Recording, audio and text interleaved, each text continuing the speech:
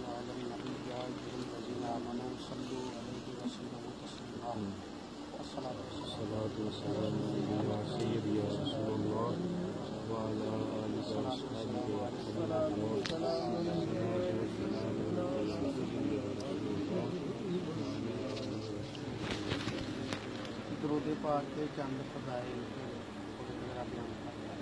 माशा। बारिश सरकार तो मानी है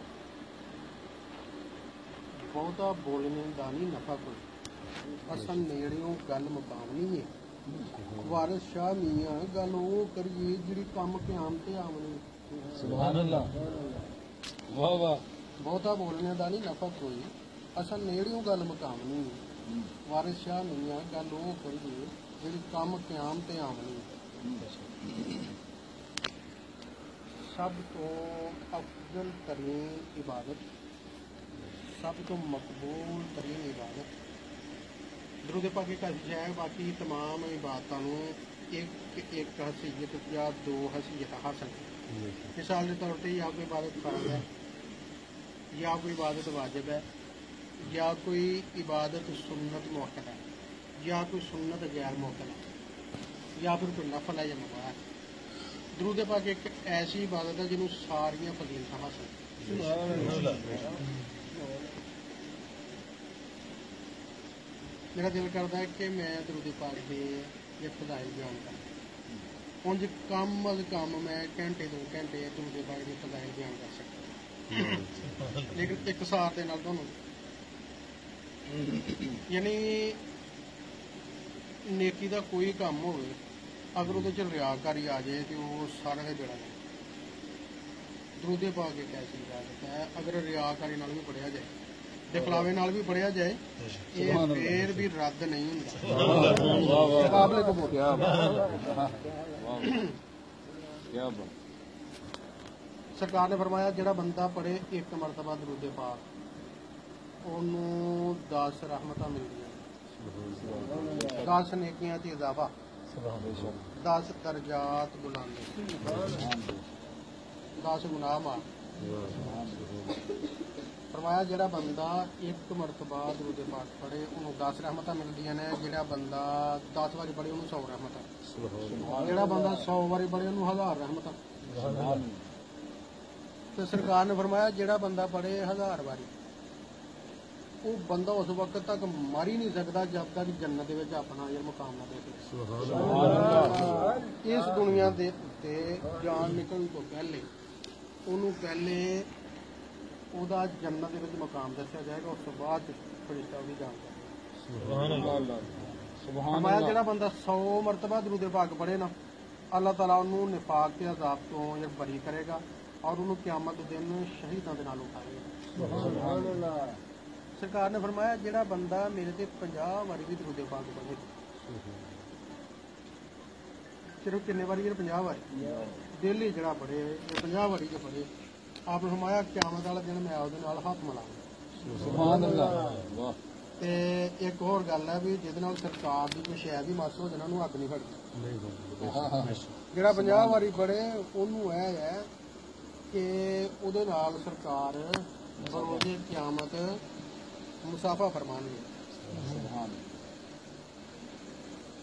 ਹਜ਼ਰਤ ਅਲਾਮਾ ਇਸਮਾਇਲ ਨਬਹਾਨੀ ਅਲੈਹਿ ਰਹਿਮਾ ਆਪ ਇਰਸ਼ਾਦ ਫਰਮਾਉਂਦੇ ਨੇ ਕਿ ਇਹ ਮੁਹਿੱਬੇ ਵਾਸਤੇ ਇਹ ਲਾਜ਼ਮ ਹੈ ਕਿ ਉਹ ਇੱਕ ਤਾਦਾਦ ਆਪਣੀ ਉੱਤੇ ਜਰ ਮੁਕਰਰ ਕਰੇ ਡੇਲੀ ਦਾ ਉਸ ਨੂੰ ਵਜ਼ੀਫਾ ਬਣਾਏ ਇਹ ਉਸ ਦੇ ਉੱਤੇ ਚੱਲਾ ਹਾਂ ਇੱਕ ਹਦੀਸ ਸ਼ਰੀਫ ਆਪ ਦੀ ਹੋ ਰਿਹਾ ਫਰਮਾਇਆ ਕਿ ਜਿਹੜਾ ਬੰਦਾ ਕਸਰਤ ਦੇ ਨਾਲ ਜਾਂ ਦਰੂਦ ਪਾਕ ਪੜੇ ਨਾ ਉਹ ਬੰਦਾ ਮੇਰੇ ਕਰੀਬ ਤਰੀਨ ਹੋਏ ਯਾਨੀ ਜ਼ਿਆਦਾ ਜਿਹੜਾ ਪ੍ਰੋਟੋਕੋਲ ਹੈ, ਜ਼ਿਆਦਾ ਜਿਹੜਾ ਦਰਜਾ ਹੈ, ਉਸ ਬੰਦੇ ਦਾ ਜਿਹੜਾ ਬੰਦਾ ਜੇ ਜਿਹੜਾ ਬੰਦਾ ਕਸਰਤ ਦੇ ਨਾਲ ਪੜਦਾ ਦਰੂਦ ਪਾਕ ਕਿਤਨਾ ਦਰੂਦ ਪਾਕ ਪੜਿਆ ਜਾਏ ਕਿ ਬੰਦਾ ਜੇ ਕਸਰਤ ਦੇ ਨਾਲ ਪੜਨੇ ਵਾਲਿਆਂ ਵਿੱਚ ਸ਼ੁਮਾਰ ਹੋ ਜਾਵੇ حضرت علامہ مولانا محمد اسماعیل بن نبہانی علیہ الرحمہ آپ اپنی کتاب افضل الصلاوات علیہ ਸੈਦ ਸਾਦਾਤ ਦੇ ਵਿੱਚ ਇਰਸ਼ਾਦ ਫਰਮਾਉਂਦੇ ਨੇ ਕਿ ਇਮਾਮ ਅਬਦੁਲ ਵਹਾਬ ਸ਼ੁਰਾਨੀ, ਉਹਨਾਂ ਨੇ ਆਪਣੀ ਇੱਕ ਕਿਤਾਬ ਦੇ ਵਿੱਚ ਲਿਖਿਆ ਕਿ ਕਮ ਅਜ਼ ਕਮ 700 ਬਾਰ ਸਵੇਰ ਤੇ 700 ਬਾਰ ਸ਼ਾਮ। ਜਿਹੜਾ ਬੰਦਾ ਦਰੂਦ ਪਾਠ ਪੜ੍ਹੇ, ਉਹ ਕਸਰਤ ਦੇ ਨਾਲ ਦਰੂਦ ਪਾਕ ਪੜ੍ਹਨ ਵਾਲੇ ਵਿੱਚ ਸ਼ਮਾਰ ਹੋ ਜਾਂਦਾ। ਹੁਣ ਇੱਕ ਛੋਟਾ ਜਿਹਾ ਵਾਕਿਆ। ਇੱਕ ਇੱਕ ਪੁੱਤਰ ਤੇ ਉਹਦਾ ਪਿਓ ਹੱਜ ਤੇ ਜਾ ਰਹੀ।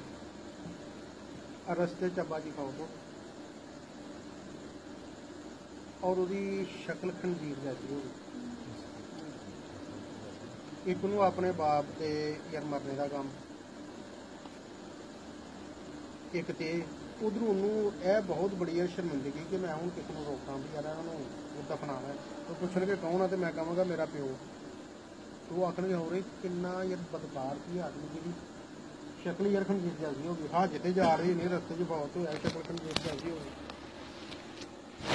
ਉਹਨੇ ਇਹ ਕਿਸੇ ਬੰਦੇ ਨਾਲ ਨਾਂ ਨਹੀਂ ਲਿਆ। ਰਾਤ ਦਾ ਵਕਤ ਹੋ ਗਿਆ ਤੇ ਉਹਨੂੰ ਇਹ ਨੀਂਦ ਆ ਗਈ। ਨੀਂਦ ਦੇ ਵਿੱਚ ਉਹਨੇ ਦੇਖਿਆ ਇੱਕ ਬਜ਼ੁਰਗ ਹੱਥੀ ਆਏ ਨੇ ਤੇ ਘੋੜੇ ਦੇ ਸਵਾਰ। ਉਹਨੂੰ ਆ ਪੁੱਛਿਆ ਕਿ ਤੇਰੀ ਕੀ ਪਰੇਸ਼ਾਨੀ? ਉਹ ਕਹਿਣ ਲੱਗਾ ਕਿ ਜਨਾਬ ਬਜ਼ੁਰਗੋ, ਗੱਲ ਇਹ ਹੈ ਕਿ ਮੇਰੇ ਵਾਲਦ ਸਾਹਿਬ ਨੇ ਹੱਜ ਤੇ ਜਾ ਰਹੇ ਸਨ ਨੇਕ ਕੰਮ ਸੀ। ਰਸਤੇ 'ਚ ਇਹਨਾਂ ਦੀ ਮੌਤ ਹੋ ਗਈ ਹੈ ਕਿ ਮੈਨੂੰ ਇਹ ਕਿ ਮੇਰੇ ਅੱਬਾ ਜੀ ਫੌਤ ਹੋ ਗਏ। ਉਤੋਂ ਹੁਣ ਮੈਨੂੰ ਇਹ ਸ਼ਰਮਿੰਦਗੀ ਹੈ ਕਿ ਜਿਹੜੇ ਕੋ ਲੱਗ ਦੀ ਇਹ ਕਾਫਲੇ ਜਾ ਰਹੇ ਨੇ ਮੈਂ ਉਹਨਾਂ ਨੂੰ ਰੋਕ ਵੀ ਨਹੀਂ ਰਿਹਾ। ਉਹ ਜਿਸਲੇ ਆ ਕੇ ਦੇਖਣਗੇ ਕਿ ਇਹਨਾਂ ਦੀ ਸ਼ਕਲ ਖੰਜੀਰ ਜੈਸੀ ਹੋ ਗਈ ਇੱਕ ਗਾਮ ਹੈ ਉਤੋਂ ਮੈਨੂੰ ਸ਼ਰਮਿੰਦਗੀ। ਉਹਨਾਂ ਨੇ ਉਹਨੇ ਚਿਹਰੇ ਦੇ ਉੱਤੇ ਆਪਣਾ ਇਹ ਦਸਤ ਮੁਬਾਰਕ ਫੇਰਿਆ। ਉਸ ਬੰਦੇ ਦੀ ਸ਼ਕਲ ਇੰਜ ਹੋ ਗਈ ਜਿਸ ਨਾਲ 14ਵੀਂ ਰਾਤ ਦਾ ਚੰਨ ਹੁੰਦਾ। ਉਹ ਫਰਮਾਨ ਲੱਗੇ ਕਿ ਹੁਣ ਉੱਠ ਕੇ ਦੇਖ ਲੈ। ਤੇ ਹੁਣ ਜਿਹੜੇ ਲੋਕ ਜਾ ਰਹੇ ਨੇ ਨਾ ਉਹਨਾਂ ਨੂੰ ਰੋਕ ਕੇ ਦੱਸ ਕਿ ਮੇਰੇ ਵਾਲਦ ਸਾਹਿਬ ਹੋ ਸੁਭਾਨ ਉਹ ਜਿਸ ਵਕਤ ਜਾਣ ਲੱਗੇ ਤਾਂ ਬੰਦਾ ਪਿੱਛੇ ਦੌੜਾ ਕਹਿਣ ਲੱਗਾ ਬਜ਼ੁਰਗਾ ਆਪਣਾ ਨਾਂ ਤੇ ਦੱਸ ਦਿਓ। ਉਹਨੇ ਸ਼ਾਇਦ ਫਰਮਾਇਆ ਆਨਾ ਮੁਹੰਮਦ। ਕਹਿਣ ਲੱਗਾ ਹਜ਼ੂਰ ਤੁਸੀਂ ਇਤਨੀ ਮਿਹਰਬਾਨੀ ਨਹੀਂ ਫਰਮਾਈ। ਆਪਨੇ ਫਰਮਾਇਆ ਮੇਰੇ ਤੇ 100 ਮਰਤਬਾ ਹਰ ਰੋਜ਼ ਜਦਰੂ ਦੇ ਬਾਤ ਕਰਦਾ ਰਹੇ ਸੁਭਾਨ ਇਹਦੀ ਮੌਤ ਦਾ ਵਕਤ ਕਰੀਬ ਆਇਆ ਤੇ ਮੈਨੂੰ ਅੱਲਾਹ ਤਾਲਾ ਨੇ ਪੁੱਛਿਆ ਵੀ ਇਹਦਾ ਇੱਕ ਅਮਲ ਨਹੀਂ ਸਹੀ। ਇਹਦੇ ਸਾਰੇ ਕੰਮ ਭੈੜੇ ਇਹਦਾ ਅਮਲ ਕੋਈ ਨਹੀਂ ਸੀ ਚੰਗਾ। ਤੇ ਹੁਣ ਇਹਨੂੰ ਅੱਗੇ ਮੈਂ ਆਜ਼ਾਦ ਦਿਆਂ। ਇਹ ਚੀਜ਼ ਮੈਨੂੰ ਯਾਰ ਗਵਾਰਾ ਨਹੀਂ ਕਿ ਆਖਰ ਦੇ ਵਿੱਚ ਮੈਂ ਇਸ ਬੰਦੇ ਨੂੰ ਯਾਰ ਜ਼ਲੀਲ ਕਰਾਂ, ਕਬਰ ਤੇ ਜ਼ਲੀਲ ਕਰਾਂ। ਹੁਣ ਇਹਦੇ ਗੁਨਾਹ ਵੀ ਬਹੁਤ ਜ਼ਿਆਦਾ ਨੇ। ਤੇ ਲੇਕਿਨ ਮਹਿਬੂਬ ਤੁਹਾਡੇ ਉੱਤੇ 100 ਮਰਤਬਾ ਤੂੰ ਦੇ ਬਾਅਦ ਪੜਦਾ ਰਿਹਾ। ਜ਼ਿਆਦਾ ਚਲੋ ਇਹਨੂੰ ਥੋੜਾ ਮੇਰਾ ਮਤਲਬ ਕਿ ਥੋੜਾ ਬਹੁਤਾ ਕੁਝ ਕਰਨਾ ਪਿਆ। ਹੈ ਤੇ ਦੁਨੀਆ ਦੇ ਇਹਨੂੰ ਥੋੜਾ ਕਹਿਣਾ ਕਰ ਦਿੰਦੇ। ਸਰਕਾਰ ਨੇ ਫਰਮਾਇਆ ਕਿ ਮੈਂ ਅੱਲਾਹ ਤਾਲਾ ਨੂੰ ਅਰਜ਼ ਕੀਤਾ ਕਿ ਮੌਲਾ ਅੱਗੇ ਤੈਨੂੰ ਗਵਾਰਾ ਨਹੀਂ ਤੇ ਇੱਥੇ ਹੁਣ ਮੈਨੂੰ ਗਵਾਰਾ ਫਰਮਾਇਆ ਉਧਰੋਂ ਇਹਦੀ ਮੌਤ ਹੋਈ ਤੇ ਉਧਰੋਂ ਮੈਂ ਉਸੇ ਵਕਤ ਉੱਥੋਂ ਮੈਂ ਇਹ ਚੱਲ ਪਿਆ। ਉਹ ਬੰਦਾ ਜਿਹੜਾ ਉਹਦਾ ਪੁੱਤਰ ਸੀ ਜਦੋਂ ਹੱਜ ਤੇ ਗਿਆ ਹੁਣ ਹੱਜ ਤੇ ਹੈ ਕਿ ਇਹ ਤਵਾਫ ਕਰਦਿਆਂ ਹੋਰ ਆ ਤਾਂ ਹੋਰ ਦੀਆਂ ਵੀ ਦੁਆਵਾਂ ਸਹੀ ਕਰਦਿਆਂ ਹੋਰ ਦੁਆਵਾਂ ਮੈਦਾਨ ਅਰਫਾਤ ਚ ਜਾਂ ਮਜ਼ਦਲਫਾ ਚ ਮਿਨਾ ਚ ਹੋਰ ਹੋਰ ਦੁਆਵਾਂ। ਉਹ ਇੱਕੋ ਹੀ ਬੜੀ ਹੈ ਇਧਰੋਂ ਦੇ ਪਾਸ। ਕਹਿਣ ਲੱਗੇ ਯਾਰ ਤਵਾਫ ਕਰਦੇ ਆ। ਪਹਿਲੇ ਜਿਹੜਾ ਪਹਿਲਾ ਇੱਕ ਚੱਕਰ ਹੁੰਦਾ ਉਹਦੀ ਹੋਰ ਦੂਸਰੇ ਚੱਕਰ ਦੀ ਹੋਰ ਤੀਸਰੇ ਦੀ ਹੋਰ ਉਹਨੇ ਕਿਹਾ ਭਾ ਮੈਂ ਇਹੋ ਹੀ ਪੜਨਾ ਮੇਰੇ ਦੇ ਬਾਅਦ। ਸੁਭਾਨ ਕਿਉਂਕਿ ਉਹਦਾ ਸਾਰਾ ਕੁਝ ਅੱਖੀ ਦੇਖ ਚੁੱਕੇ ਤੇ ਵਾਹ ਇੱਕ ਵਾਰ ਬੰਦਾ ਜਿਹੜਾ ਦਰੂਦ ਪਾਕ ਪੜ੍ਹੇ ਅੱਲਾਹ ਤਾਲਾ ਇੱਕ ਫਰਿਸ਼ਤਾ ਪੈਦਾ ਫਰਮਾਉਂਦਾ ਉਹ ਫਰਿਸ਼ਤਾ ਪੈਦਾ ਹੁੰਦਾ ਕਹਿੰਦਾ ਯਾ ਅੱਲਾ ਕੀ ਹੁਕਮ? ਅੱਲਾਹ ਤਾਲਾ ਫਰਮਾਉਂਦਾ ਇਹਨੇ ਮੇਰੇ ਮਹਬੂਬ ਦੇ ਦਰੂਦ ਪਾਕ ਪੜਿਆ ਤੂੰ ਇਹਦੇ ਤੇ ਪੜ ਦਰੂਦ ਪਾਕ ਹੈ ਕੀ ਹੈ? ਇੱਕ ਕਿਨਾ ਵੀ ਦੁਆ ਹੈ ਕਿ ਯਾ ਅੱਲਾ ਆਪਣੇ ਮਹਬੂਬ ਦਾ ਦਰਜਾ, ਮਰਤਬਾ ਬੁਲੰਦ ਫਰਮਾ ਰਹਿਮਤ ਹੈ ਨਾ ਉੱਤੇ ਇਹ ਨਾਜ਼ਲ ਇਹਨਾਂ ਦਾ ਦਰਜਾ ਫਿਰ ਬੁਲੰਦ ਫਰਮਾ ਅਸੀਂ ਆਖਿਆ ਇੱਕ ਵਾਰੀ ਤੇ ਇੱਕ ਫਰਿਸ਼ਤਾ ਪੈਦਾ ਹੋ ਗਿਆ ਤੇ ਜੇ ਆਖੀਏ ਦੋ ਵਾਰੀ ਤੇ ਕਿੰਨੇ ਫਰਿਸ਼ਤੇ? ਦੋ। ਤੇ ਜੇ 50 ਵਾਰੀ ਪੜ ਛੜਿਆ ਦਿਹਾੜੀ ਚ ਤੇ ਜੇ 500 ਵਾਰੀ ਪੜ ਛੜਿਆ ਤੇ? ਫਿਰ 500 ਤੇ ਜੇ 1000 ਵਾਰੀ ਪੜ ਛੜਿਆ ਫਿਰ 1000 ਤੇ ਜੇ 2000 ਵੀ ਪੜ ਛੜਿਆ ਦੋ। ਅਗਰ 1000 ਵੀ ਤੁਸੀਂ ਲਾਓ ਤੇ ਅਗਰ 1000 ਫਰਿਸ਼ਤਾ ਰੋਜ਼ ਦਾ ਪੈਦਾ ਹੋ ਜੇ 1000 ਵਾਰੀ ਤੁਸੀਂ ਬਾਅਦ ਪੜਿਆ 1000 ਫਰਿਸ਼ਤਾ ਪੈਦਾ ਹੋ ਗਿਆ। ਮਹੀਨੇ ਦਾ ਕਿੰਨੇ ਬਣ ਗਿਆ ਜੀ? 30000 ਦਾ ਹਿਸਾਬ। ਤੇ 12 ਸਿਫਰ ਸਿਫਰ ਤੇ 12 ਤੇ 36 3 ਲੱਖ 60 ਹਜ਼ਾਰ। ਫਰਿਸ਼ਤਾ ਬੰਦਾ ਸਾਲ ਦਾ ਸੁਭਾਨ ਸੁਭਾਨ 3 ਲੱਖ 60 ਹਜ਼ਾਰ ਫਰਿਸ਼ਤਾ ਉਹਨਾਂ ਦੀ ਡਿਊਟੀ ਕੀ ਹੈ? ਕਿਆਮਤ ਤੱਕ ਉਹਦੇ ਉੱਤੇ ਦਰੁਦੇ ਪਾਕ ਪੜਨਾ ਸੁਭਾਨ ਅੱਲਾਹ। ਵਾਹ ਵਾਹ। ਸੱਕਾ ਪੁੱਤਰ ਨਹੀਂ ਜੇ ਪੜਦਾ? ਸਾਨੂੰ ਆਪਣੇ ਪਰਦਾਦੇ ਦਾ ਨਹੀਂ ਪਤਾ। ਸਾਡਾ ਪਰਦਾਦਾ ਜਿਹੜਾ ਸੀ ਉਹਦੇ ਵਾਸਤੇ ਨਹੀਂ ਕਰਨਾ ਹਾਂਜੀ ਇਸੇ ਤਰ੍ਹਾਂ ਸਾਡੇ ਵਾਸਤੇ ਕਿਸੇ ਨਹੀਂ ਕਰਨਾ। ਲਿਹਾਜ਼ਾ ਜਿੰਨਾ ਜ਼ਿਆਦਾ ਦਰੁਦੇ ਪਾਕ ਪੜ ਸਕਦੇ ਹੋ ਪੜੋ ਤਾਂ ਜਦੋਂ- ਕਿ ਫਿਰ ਜਦੋਂ ਮਰ ਜਾਂਦਾ ਤੇ ਫਿਰ ਅੱਛਾ ਜਦੋਂ ਬੰਦਾ ਮਰ ਜਾਂਦਾ ਹੈ 40 50 ਸਾਲ ਤੋਂ ਬਾਅਦ ਬੰਦਾ ਮਰ ਜਾਂਦਾ। ਉਹ ਕਹਿੰਦੇ ਯਾ ਅੱਲਾ ਕੀ ਹੁਕਮ ਹੈ? ਅੱਲਾ ਫਰਮਾਂਦਾ ਹੈ, ਇੱਥੇ ਹੀ ਖਲੋ ਕਿਆਮਤ ਤੱਕ। ਖਬਰ ਉਹਦੀ ਲੱਗਦਾ ਹੀ ਇਹਦੀ ਕਬਰ ਤੋਂ ਖਲੋ ਕੇ ਕਿਆਮਤ ਤੱਕ ਪੜਦੇ ਹੋ। ਸੁਭਾਨ ਅੱਲਾਹ ਵਾਹ ਵਾਹ। ਕਿਆਮਤ ਤੱਕ ਇਹੀ ਡਿਊਟੀ ਹੈ ਕਿ ਬੰਦਾ ਤੇ ਅੱਜ ਕੱਲ ਕਿੰਨੀ ਉਮਰ ਹੋ ਰਹੀ ਹੈ? 40 50 60 70 ਸਾਲ ਬਾਅਦ। ਵਿਹਲਾ ਆਖਰੋਂ ਨੇ ਮਰਨਾ ਹੀ ਮਰਨਾ ਨਾ। ਪਿੱਛੋਂ ਸੱਕੀ ਔਲਾਦ ਵੀ ਜਿਹੜੀ ਹੈ ਨਾ ਉਹ ਦੁਆ ਨਹੀਂ ਮੰਗਦੀ। ਕਿ 24 ਘੰਟੇ ਇਹੋ ਹੀ ਕੰਮ ਕਰੇ। ਉਹ ਆਦਨਾ ਭਾਵ ਕੋਈ ਹੋਰ ਵੀ ਕੰਮ ਕਰਦਾ ਹਾਂਜੀ? ਹਾਂ ਸਾਨੂੰ ਹੋਰ ਵੀ ਕਈ ਕੰਮ ਨੇ। ਤੇ ਇੱਕ ਹੋਰ ਹਦੀਸੇ ਪਾਕ ਕਿ ਇਹਦੇ ਰਾਵੀ ਮੌਲਾ ਅਲੀ ਸਰਕਾਰ। ਮੌਲਾ ਅਲੀ ਸਰਕਾਰ ਮੁੱਲਾ ਵਾਜੂ ਆਪ ਦੇ ਸ਼ਰਾਬ ਫਰਮਾਉਂਦੇ ਨੇ। ਸਰਕਾਰ ਨੇ ਸ਼ਾਹ ਫਰਮਾਇਆ ਅਸੀਂ ਸੁਣਿਆ। ਕਿ ਆਪਨੇ ਫਰਮਾਇਆ ਕਿ ਹਾਂ ਇੱਕ ਦਿਨ ਆਪ ਜੇ ਬੈਠੇ ਦੇ ਸੀ ਤੇ ਸਹਾਬਾ ਇਕਰਾਮ ਨੂੰ ਸਰਕਾਰ ਇਰਸ਼ਾਦ ਫਰਮਾ ਰਹੇ ਨੇ ਕਿ ਜਿਹੜਾ ਬੰਦਾ ਹੁਜਤੁਲ ਇਸਲਾਮ ਤੋਂ ਮੁਸ਼ਰਫ ਹੋਵੇ ਹੁਜਤੁਲ ਇਸਲਾਮ ਉਹਨੂੰ ਕਹਿੰਦੇ ਨੇ ਜਿਹੜਾ ਉਹ ਹੱਜ ਜਿਹੜਾ ਪਹਿਲੀ ਮਰਤਬਾ ਫਰਜ਼ ਹੁੰਦਾ ਮਾਲਦਾਰ ਬੰਦੇ ਉਸ ਹੱਜ ਤੋਂ ਬੰਦਾ ਫਾਰਗ ਹੋਵੇ ਉਸ ਤੋਂ ਬਾਅਦ ਇੱਕ ਗਜ਼ਵੇ 'ਚ ਹਿੱਸਾ ਲਵੇ। ਗਜ਼ਵਾ ਨੂੰ ਕਹਿੰਦੇ ਨੇ ਜਿਹਦੇ 'ਚ ਨਬੀ ਕਰੀਮ ਸੱਲੱਲਾਹੁ ਅਲੈਹਿ ਵਸੱਲਮ ਨੇ ਬਿਨਫਸੇ ਨਫੀਸ ਹਿੱਸਾ ਲਿਆ। ਸੁਭਾਨ ਉਸ ਤੋਂ ਬਾਅਦ ਇੱਕ ਗਜ਼ਵੇ 'ਚ ਹਿੱਸਾ ਲਵੇ ਉਹਨੂੰ ਅੱਲਾਹ ਤਾਲਾ 400 ਹੱਜ ਦਾ ਸਵਾਬ عطا ਫਰਮਾਉਂਦਾ ਤੇ ਉੱਥੇ ਕੁਝ ਸਹਾਬਾ ਕਰਾਮ ਐਸੀ ਵੀ ਸਨ ਜਿਹੜੇ ਨਾ ਹੀ ਤੇ ਗਜ਼ਵੇ 'ਚ ਹਿੱਸਾ ਲੈ ਸਕਦੇ ਹਨ ਤੇ ਨਾ ਹੀ ਉਹਨਾਂ ਨੇ ਹੱਜ ਕੀਤਾ ਉਹਨਾਂ ਨੇ ਦਿਲ ਨਾਲ ਜਾਂ ਟੁੱਟ ਕੇ ਕਿ ਇਸ ਸਰਕਾਰ ਨੇ ਜਿਹੜਾ ਇਸ਼ਾਰਾ ਫਰਮਾਇਆ ਕਿ ਇਹ ਤਾਕਤਵਰ ਲੋਕਾਂ ਦਾ ਕੰਮ ਹੈ ਨਾ ਤੇ ਉਸੇ ਵਕਤ ਫਿਰ ਵਹੀ ਆਈ ਫਰਮਾਇਆ ਮਹਬੂਬ ਇਹਨਾਂ ਸਾਰਿਆਂ ਨੂੰ ਸੁਣਾ ਦਿਓ ਕਿ ਜਿਹੜਾ ਤੁਹਾਡੇ ਤੇ ਇੱਕ ਮਰਤਬਾ ਦਰੂਦੇ ਪਾਕ ਪੜੇ ਇੱਕ ਮਰਤਬਾ। ਉਹਨੂੰ 400 ਗਜ਼ਵਾਤ ਦਾ ਸਵਾਬ ਮਿਲਣਾ ਇੱਕ ਗਜ਼ਵਾ ਬਰਾਬਰ ਹੈ 400 ਹੱਜ ਦੀ। 400 ਨੂੰ 400 ਦੇ ਨਾਲ ਅਗਰ ਇਹ ਜ਼ਰਬ ਦਈਏ ਤੇ ਬਣਦਾ 1 ਲੱਖ 60 ਹਜ਼ਾਰ ਹੱਜ। ਇੱਕ ਮਰਤਬਾ ਗਿਆ ਸੱਲੱਲਾਹੁ ਅਲੈਹਿ ਵਸੱਲਮ। ਤੇ ਕਿੰਨਾ ਸਵਾਬ ਮਿਲ ਗਿਆ? 1 ਲੱਖ ਤੇ 60 ਹਜ਼ਾਰ ਹੱਜ ਦਾ। ਜਿਹੜਾ ਉੱਥੇ ਜਾ ਕੇ ਕਰਨਾ ਪਤਾ ਨਹੀਂ ਕਬੂਲ ਹੋਣਾ ਕਿ ਨਹੀਂ। ਦੌੜਾਂ ਵੀ ਪੂਰੀਆਂ ਲਾਣੀਆਂ ਨੇ। 20 25 ਮਹੀਨੇ ਦਾ ਸਫ਼ਰ ਬਣਦਾ ਜਨਾਬ ਤੇ ਜੁੱਤੀ ਪੈਰੋਂ ਟੁੱਟ ਜਾਂਦੀ ਹੈ। ਇੰਤਹਾਈ ਮੁਸ਼ਕਲ ਤਰੀਨ ਸਫ਼ਰ ਹੈ। ਉਹ ਕਿਸੇ ਹੋਰ ਵੀ ਚੰਗੀ ਲੱਗਦੀ ਹੈ ਪਾਣੀ ਛਣ ਵੀ ਨਹੀਂ ਮਿਲਦਾ। ਹਾਂਜੀ? ਤੇ 25 ਕੁ ਮੀਲ ਪੈਦਲ ਚੱਲਣਾ ਹੁੰਦਾ। ਲੱਗ ਤੱਕ ਜਾਂਦੇ ਨੇ ਉਮਰਾ ਵੀ ਕਰਦੇ। ਇੱਕ ਮਰਤਬਾ ਕਹਿ ਲਿਆ ਸੱਲੱਲਾਹੁ ਅਲੈਹਿ ਵਸੱਲਮ ਤੇ 1 ਲੱਖ 60 ਹਜ਼ਾਰ ਹੱਜ ਦਾ ਸਵਾਬ ਸੁਭਾਨ ਅੱਲਾਹ। ਵਾਹ ਠੀਕ ਹੈ ਜੀ। ਅੱਛਾ। ਜਿਹੜੀ ਆਇਤ ਪੜੀ ਸੀ ਉਹਦੀ ਥੋੜੀ ਥੋੜੀ ਵਜ਼ਾਹਤ ਹੀ ਜਾਵੇ ਤਾਂ ਕਲੀਅਰ ਤਾਂ ਨਹੀਂ ਆ ਰਹੀ ਨਹੀਂ ਨਹੀਂ ਆਇਤ ਕਰੀਮਾ ਸੀ ਫਨ ਆਮਨੂ बिमिसली मा आमनतुम बिही फकद बस अगर ये ईमान लाए ऐसे जैसे तुम ईमान लाए हो फकद इख्तदाओ तो उन्होंने हदायत अख्तियार की फिर इन्होंने हदायत पाई है जी ਇਹ ਆਇਤ ਭਲਾ ਕੀ ਸੀ? ਸਾਡਾ ਸਾਰਾ ਹੀ ਜਿਹੜਾ ਦੀਨ ਹੈ ਨਾ ਕਿ ਈਮਾਨ ਹੈ ਕੀ ਹੈ? ਈਮਾਨ ਅਸਲ ਭਲਾ ਕੀ ਹੈ? ਆਮਨ ਤੋਂ ਬਿੱਲਾਹਿ ਵ ਮਲਾਇਕਤਿhi ਵ ਕੁਤੁਬਿhi ਵ ਰੁਸੁਲਿhi ਵਲ ਯawmil ਆਖਿਰ ਇਹ ਸਾਡੇ ਜ਼ਮਾਨ ਇਸ ਤੋਂ ਪਹਿਲੇ ਇੱਕ ਚੀਜ਼। ਇਮਾਨ ਦੇ ਜਜ਼ੀਆਤ ਨੇ ਜਿਹੜੀ ਸਭ ਤੋਂ ਪਹਿਲੀ ਚੀਜ਼ ਹੈ ਨਾ ਉਹ ਹੈ ਨਬੀ ਕਰੀਮ ਸੱਲੱਲਾਹੁ ਤਾਲਾ ਅਲੈਹਿ ਵਸੱਲਮ ਦੀ ਮੁਹੱਬਤ। अगर नबी करीम सल्लल्लाहु वसल्लम की मुहब्बत सीने से मौजूद ना हो फिर कोई शह भी जरा कम्म हूँ सुनो एक हदीस शरीफ। काला काला रसूल सल्लल्लाहु वसल्लम सरकार ने इरशाद फरमाया।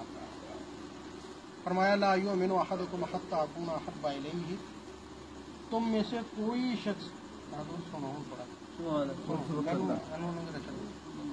फरमाया तुम में से कोई शख्स उस वक्त तक कामिल मोमिन नहीं हो सकता। किस वक्त तक भला?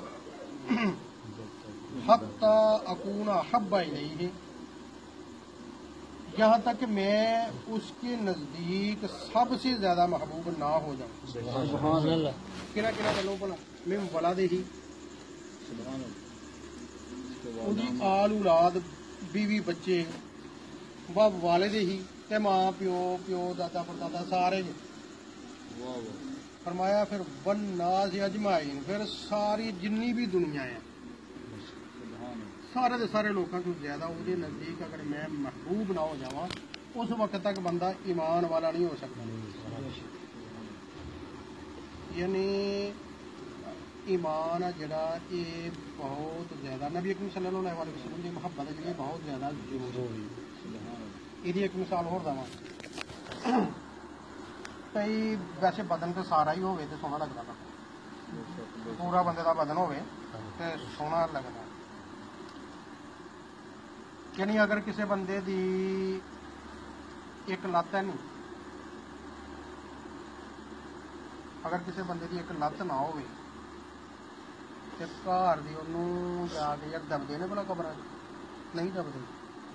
ਰੱਖ ਲੈਂਦੇ ਜੇ ਕਿਸੇ ਦੀਆਂ ਦੋਏ ਲੱਤਾਂ ਨਹੀਂ ਹੋਣ ਤਾਂ ਤੁਸੀਂ ਕਈ ਲੋਕ ਦੇਖੇ ਹੋਣਗੇ ਜਿਨ੍ਹਾਂ ਦੀਆਂ ਦੋ ਲੱਤਾਂ ਨਹੀਂ ਹੁੰਦੇ। ਲੇਕਿਨ ਫਿਰ ਉਹਨਾਂ ਨੂੰ ਲੋਕ ਜਾ ਕੇ ਤੇ ਜਿਨ੍ਹਾਂ ਦੀਆਂ ਦਬਦੇ ਨੇ ਫਿਰ ਉਹਨੂੰ ਆਪਣੇ ਘਰ ਹੀ ਰੱਖਦੇ। ਰੱਖਦੇ ਕਿ ਨਹੀਂ? ਅਗਰ ਕਿਸੇ ਦੀਆਂ ਦੋਏ ਬਾਹਾਂ ਵੀ ਨਹੀਂ ਹੋਣ ਤੇ ਐਸੇ ਸ਼ਖਸ ਵੀ ਅਸੀਂ ਦੇਖੇ ਨੇ ਜਿਹਦੀਆਂ ਲੱਤਾਂ ਵੀ ਨਹੀਂ ਤੇ ਬਾਹਾਂ ਵੀ। ਤੇ ਲੋਕ ਉਹਨਾਂ ਨੂੰ ਝੁੱਕੀ ਕਰਦੇ ਨੇ। ਅਜੇ ਉਹਨੂੰ ਦੱਬਿਆ ਨੇ। ਅੱਛਾ ਸਭ ਕੁਝ ਬੰਦੇ ਦੇ ਵਿੱਚ ਪੂਰਾ ਦਾ ਪੂਰਾ ਮੌਜੂਦ ਹੈ। ਮਸਲੇ ਇੱਕ ਅੱਖ ਨਾ ਹੋਵੇ ਤਾਂ ਵੀ ਉਹ ਬੰਦਾ ਸਾਡੇ 'ਚ ਹੀ ਫਿਰਦਾ ਹੁੰਦਾ। ਹੈ। ਕੰਨ ਨਾ ਹੋਵੇ। ਜ਼ੁਬਾਨ ਨਾ ਹੋਵੇ। ਪਾਗਲ ਹੋਵੇ ਦਿਮਾਗ ਵੀ ਨਹੀਂ ਹੋਵੇ। ਇਨਸਾਨੀ ਜਿਸਮ ਦਾ ਬਾਦਸ਼ਾਹ ਹੈ ਦਿਮਾਗ। ਅਗਰ ਇਹ ਦਿਮਾਗ ਵੀ ਨਾ ਹੋਵੇ ਤੇ ਲੋਕੀ ਉਹਨੂੰ ਤਾਂ ਵੀ ਐਤ ਨਹੀਂ ਕਰਦੇ ਕਿ ਯਾਰ ਉਹਨੂੰ ਜਾ ਕੇ ਤੈਨੂੰ ਕਿਹਾ ਪਿਆ ਨਾ ਵੀ ਫੇਰ ਵੀ ਉਹਨੂੰ ਰੱਖਦੇ। ਲੱਤਾਂ ਨਾ ਹੋਣ, ਫੇਰ ਵੀ ਰੱਖਦੇ। ਬਾਹਾਂ ਨਾ ਹੋਣ, ਫੇਰ ਵੀ ਰੱਖਦੇ। ਸਾਰਾ ਕੁਝ ਬੰਦੇ ਦੇ ਵਿੱਚ ਮੌਜੂਦ ਹੋਵੇ, ਲੇਕਿਨ ਜਾਣ ਨਾ ਹੋਵੇ। ਯਾਰ ਸਾਰਾ ਕੁਝ ਮੌਜੂਦ ਹੋਵੇ ਤੇ ਜਾਨ ਨਾ ਹੋਵੇ ਫਿਰ ਉਹਨੂੰ ਕੀ ਕਰਦੇ ਨੇ ਆਖਦੇ ਨੇ ਪੁੱਤਰ ਹੁਣ ਤੈਨੂੰ ਘਰ ਰੱਖਣਾ ਨਹੀਂ ਹੁਣ ਤੈਨੂੰ ਦੱਬਣਾ ਹੈ ਪੁੱਤਰ। ਭਾਵੇਂ ਉਹ ਸੱਕਾ ਪੁੱਤਰ ਹੋਵੇ ਭਾਵੇਂ ਉਹ ਪਿਓ ਹੋਵੇ ਜਿਸ ਨਾਲ ਜਾਨ ਵਿੱਚ ਨਹੀਂ ਨਾ ਰਹੀ ਫਿਰ ਉਹ ਉਹਦਾ ਬੰਦੇ ਕਾਬਲਾ ਗਈ ਇਸੇ ਤਰ੍ਹਾਂ ਹੀ ਮਹਤਰਮ ਨਬੀ ਅਕਰਮ ਸੱਲੱਲਾਹੁ ਅਲੈਹਿ ਵਸੱਲਮ ਦੀ ਮੁਹੱਬਤ ਇਸਲਾਮ ਦੇ ਵਿੱਚ ਜਾਨ ਹੈ। ਸੁਭਾਨ ਅੱਲਾਹ ਸੁਭਾਨ ਅੱਲਾਹ। ਸਾਰਾ ਇਸਲਾਮ ਹੋਵੇ ਦਾੜੀ ਵੀ ਹੋਵੇ ਸਾਰਾ ਕੁਝ ਹੋਵੇ, ਨਮਾਜ਼ਾਂ ਪੂਰੀਆਂ, ਰੋਜ਼ੇ ਪੂਰੇ, ਹਰ ਸ਼ੈ ਪੂਰੀ, ਅੱਜ ਹਾਜੀਰਾ ਵੀ ਗਵਾਨ ਸਾਰਾ ਕੰਮ ਕਰਨ, ਅਗਰ ਨਬੀ ਅਕਰਮ ਸੱਲੱਲਾਹੁ ਅਲੈਹਿ ਵਸੱਲਮ ਦੀ ਮੁਹੱਬਤ ਤੋਂ ਆ ਰਹੀ ਹੈ, ਸਰਕਾਰ ਦੀ ਮੁਹੱਬਤ ਉਹਦੇ ਸੀਨੇ 'ਚ ਨਹੀਂ, ਤੇ ਫਿਰ ਉਹ ਦੱਬਣ ਦੇ ਕਾਬਲ ਹੈ, ਫਿਰ ਉਹ ਰੱਖਣ ਦੇ ਕਾਬਲ ਨਹੀਂ ਵੈਸੇ ਮੈਂ ਪਹਿਲੇ ਅਰਜ਼ ਕੀਤਾ ਹੈ ਕਿ ਜਿਸਮ ਪੂਰਾ ਹੋਵੇ ਤਾਂ ਸੋਹਣਾ ਲੱਗਦਾ ਹੈ ਮਸਲਾ ਅਗਰ ਕਿਸੇ ਦੀ ਲੱਤ ਨਾ ਹੋਵੇ ਤੇ, ਇਹ ਬੰਦਾ ਤਾਂ ਸੋਹਣਾ ਨਹੀਂ ਨਾ ਲੱਗਿਆ। ਪੂਰਾ ਜਿਸਮ ਹੋਣਾ ਚਾਹੀਦਾ। ਇਸਲਾਮ ਦੇ ਵਿੱਚ ਦਾਖਲ ਹੋਣਾ ਪੂਰੇ ਦੇ ਪੂਰੇ। ਸਾਨੂੰ ਜਾਂ ਨਮਾਜ਼ ਵੀ ਪੜ੍ਹਨੀ ਚਾਹੀਦੀ ਰੋਜ਼ੇ ਵੀ ਰੱਖਣੇ ਚਾਹੀਦੇ ਨੇ ਸਾਰਾ ਸਿਸਟਮ ਕਰਨਾ ਚਾਹੀਦਾ। ਲੇਕਿਨ ਜਿਹੜੀ ਮੇਜਰ ਚੀਜ਼ ਹੈ ਨਾ ਉਹ ਹੈ ਨਬੀ ਕਰੀਮ ਸੱਲੱਲਾਹੁ ਅਲੈਹਿ ਵਸੱਲਮ ਦੀ ਮੁਹੱਬਤ। ਸਰਕਾਰ ਦੀ ਮੁਹੱਬਤ ਤੋਂ ਬਗੈਰ ਕੋਈ ਚਾਰਾ ਨਹੀਂ। ਹੁਣ ਇੱਕ ਹੋਰ ਤੁਹਾਨੂੰ ਜਰ ਹਦੀਸ ਸ਼ਰੀਫ ਸੁਣਾਣੀ ਫਰਮਾਇਆ ਅਨ ਇਬਨ ਉਮਰ। ਹਜ਼ਰਤ ਇਬਨ ਉਮਰ ਰਜ਼ੀ ਅੱਲਾਹ ਤਾਲਾ ਅਨਹੁ ਤੋਂ ਫਲਾਣਾ ਸਰਦਾਰ ਸਾਹਿਬ ਦੀ ਕੁਰਬਾਨੀ ਦੱਸਣਾ। ਹਿੱਲਣ ਰੱਬ ਰਸੂਲ ਦੇ ਆਸਰੇ ਤੇ ਆਸ ਰੱਖ ਲਈ ਜਿਨ੍ਹਾਂ ਕਿਨਾਰੇ ਦੀ ਹਰਫਾਂ ਡੂੰਘਿਆਂ ਦੇ ਮਾਣੇ ਵੀ ਬੁੱਝ ਲੈਣ। ਚਸ ਜਿਨ੍ਹਾਂ ਨੂੰ ਨੂਰ ਨਜ਼ਾਰੇ ਦੀ ਤੇ ਗਦਾ ਨਾਲ ਚਬਾਰੀਆਂ ਟੁਰੇ ਸਿੱਧਾ। ਹੁਣ ਦੀ ਤਾਵੀ ਨੂੰ ਲੋੜ ਇਸ਼ਾਰੇ ਦੀਏ ਜ਼ਰਾ ਜਾ ਕੇ ਸੁਣੋ ਸਰਦਾਰ ਸਾਈਆਂ। ਬੋਲਣ ਵਾਲੇ ਨੂੰ ਲੋੜ ਹੰਗਾਰੇ ਦੀ ਏ ਭਾਈ ਸੌਣਾ ਨੇ। ਮੈਂ ਪਹਿਲੇ ਪੁੱਛਿਆ ਵੀ ਉਹਨੂੰ ਨਹੀਂ ਆਉਂਦੀ। ਜਰਾ ਜਾ ਕੇ ਸੁਣ ਸਰਦਾਰ ਸਾਈਆਂ। ਬੋਲਣ ਵਾਲੇ ਨੂੰ ਲੋੜ ਹੰਗਾਰੇ ਦੀ ਹੈ ਜੇ ਬੰਦਾ ਠੌਂਕਾ ਲਾਂਦਾ ਹੋਏ ਤੇ ਫਿਰ ਉਹ ਯਾਰ ਮਜ਼ਾ ਨਹੀਂ, ਸਵਾਦ ਨਹੀਂ ਆਉਂਦਾ। ਦੁਨੀਆ ਦੇ ਉੱਤੇ ਕੋਈ ਸ਼ਖਸ ਵੀ ਜਿਹੜਾ ਜਿਹਨੇ ਕੋਈ ਦਰਜਾ ਪਾਇਆ। ਉਹਦਾ ਮਿਆਰ ਭਲਾ ਕੀ ਹੈ ਨਬੀ ਕਰੀਮ ਸੱਲੱਲਾਹੁ ਅਲੈਹਿ ਵਸੱਲਮ ਦੀ ਮੁਹੱਬਤ ਬੇਸ਼ੱਕ ਸਰਕਾਰ ਦੀ ਮੁਹੱਬਤ ਤੋਂ ਜੁਦਾ ਹੋ ਕੇ ਉਹ ਬੇਈਮਾਨ ਹੈ ਪੱਕਾ। ਉਹ ਕੋਈ ਅੱਲਾ ਦਾ ਬੰਦਾ ਨਹੀਂ ਭਾਈ। ਬੇਸ਼ੱਕ ਉਹ ਮੁਸਲਮਾਨ ਵੀ ਨਹੀਂ। ਹੁਣ ਸੁਣੋ ਇੱਕ ਹਦੀਸ ਪਾਕ। ਅਨ ਇਬਨ ਉਮਰ ਹਜ਼ਰਤ ਇਬਨ ਉਮਰ। ਹਜ਼ਰਤ ਉਮਰ ਰਜ਼ੀ ਅੱਲਾਹ ਤਾਲਾ ਨੂੰ ਦੇ ਪੁੱਤਰ ਤੋਂ ਰਵਾਇਤ ਹੈ। फरमांद ने कला काला रसूल अल्लाह सल्लल्लाहु वसलम सरकार ने इरशाद फरमाया कि भला, लयातियन्ना आला उम्मती कमाता आला बनी इसराइल। मेरी उम्मत पर एक ज़माना ज़रूर ऐसे आएगा जैसे बनी इसराइल पर आया था। हसबन नाले बिन नाल बिल्कुल हु बहु एक जैसे। फरमाया, हत्ता इनकान मिन हम यहाँ तक कि अगर इनमें से कोई, किना भी बिचो भला? किना बिचो भला? ਨਹੀਂ ਸਮਝ ਆ ਰਹੀ। ਤੁਸੀਂ ਗੌਰ ਨਾਲ ਨਹੀਂ ਸੁਣਦੇ। ਫੇਰ ਮੁੜ ਮੁੜ ਸ਼ੁਰੂ ਕਰ ਦਿੰਦੇ। ਹਾਂ ਪ੍ਰੋਗਰਾਮ 'ਚ ਅੱਧਾ ਘੰਟਾ ਬਹਿਣ ਦਾ। ਭਾਈ ਜੀ ਇਹ ਸਾਡਾ ਤੇ ਕੰਮ ਸਮਝਾ ਕੇ ਤੁਰਨਾ ਹਾਂਜੀ?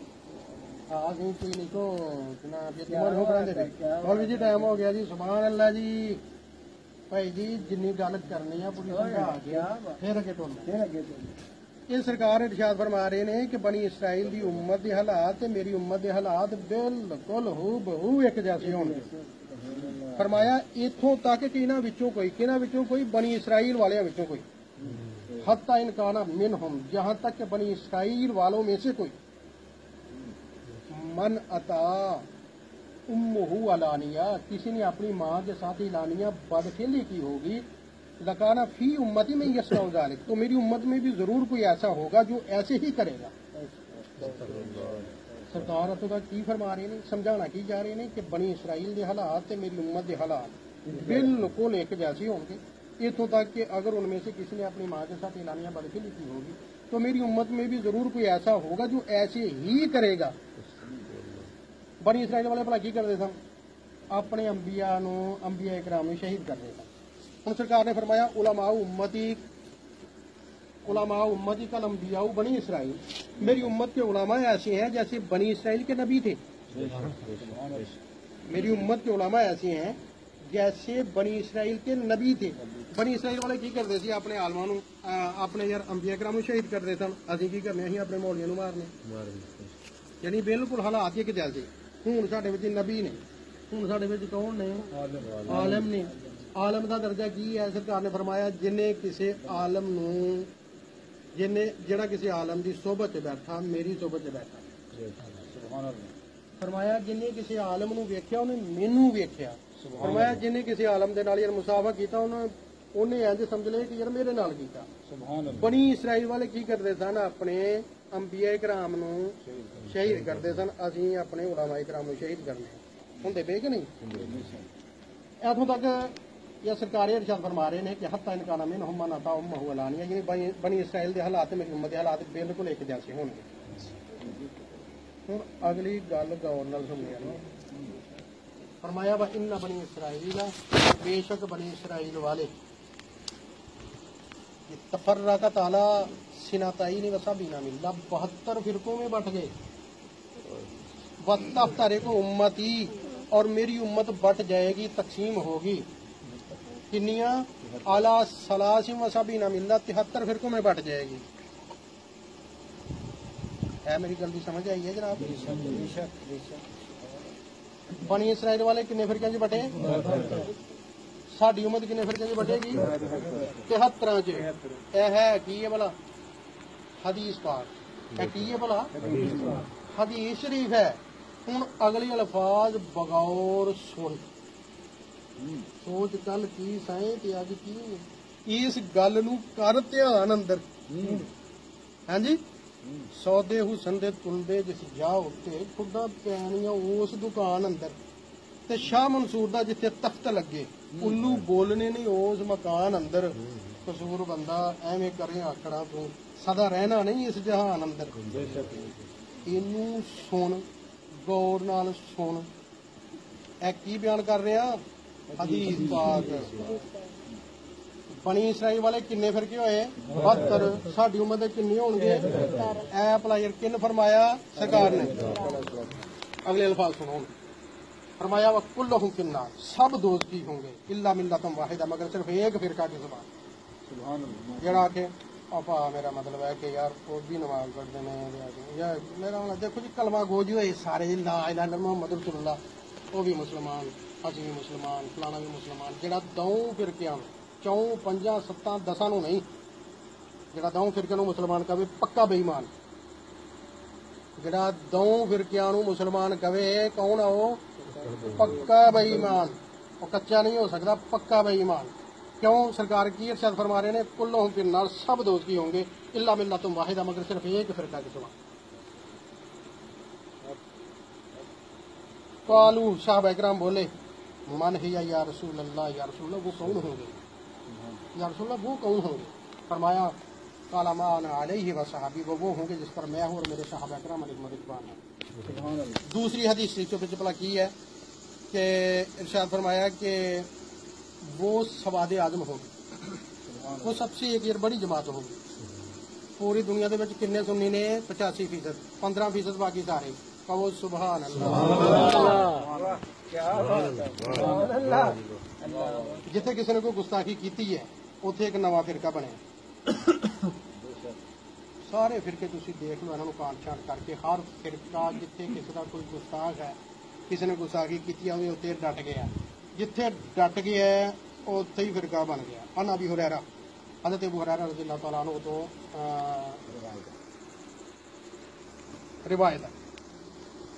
फरमाते हैं काला फरमादन कालाकल रसुल्लम सरकार ने इर्शाद फरमाया यकून भी आखिरी जमा आखिरी जमाना होगा।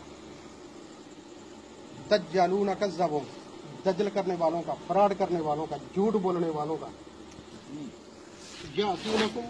मिनल अहादी से वो तुम्हारे पास कुछ ऐसी बातें लाएँगे। बिमालम तस्माऊ अन तुम वला अबाऊकुम जिन्हें ना कभी या तुमने सुना होगा ना कभी तुम्हारे बाप दादा ने सुना होगा।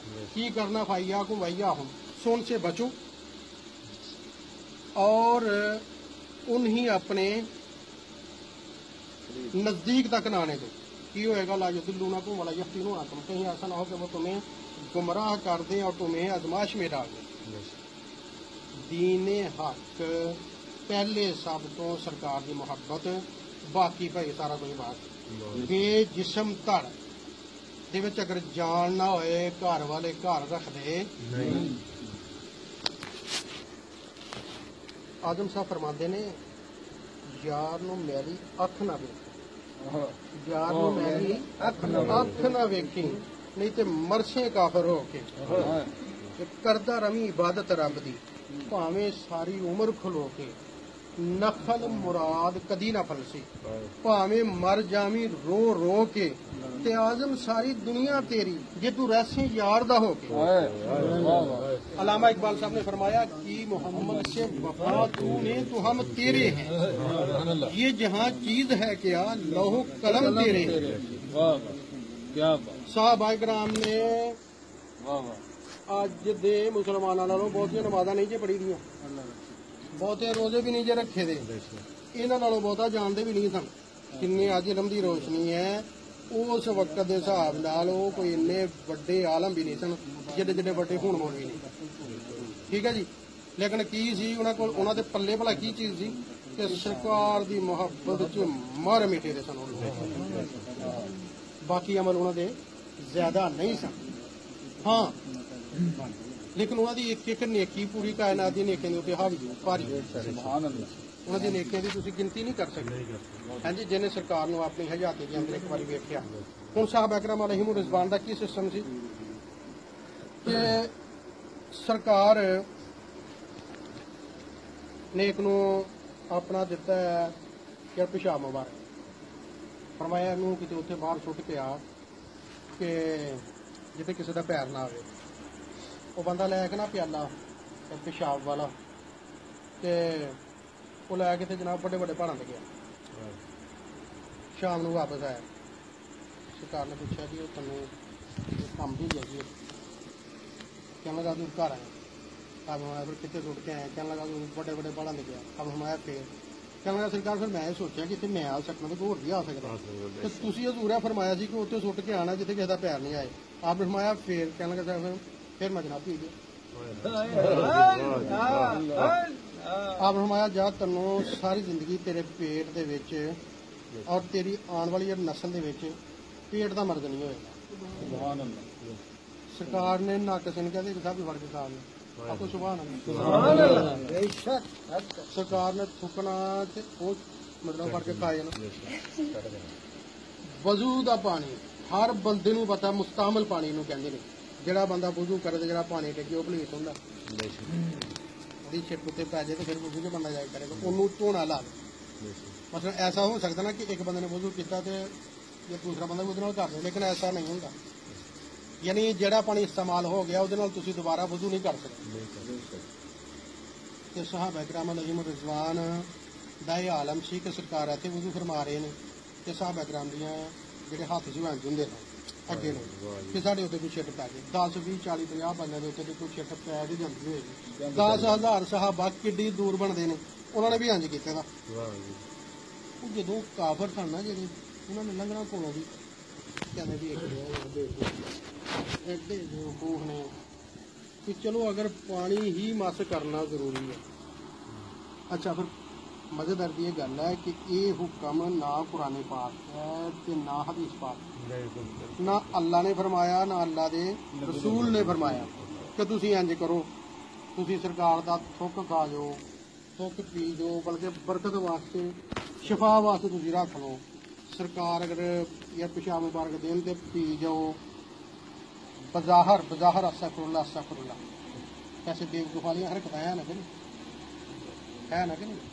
ਇਹ ਹੈ ਨੇ ਇੰਨੀ ਮੁਹੱਬਤ ਕਰਨੀ ਹੈ ਲੋਕ ਤੁਹਾਨੂੰ ਪਾਗਲ ਆਖਣ।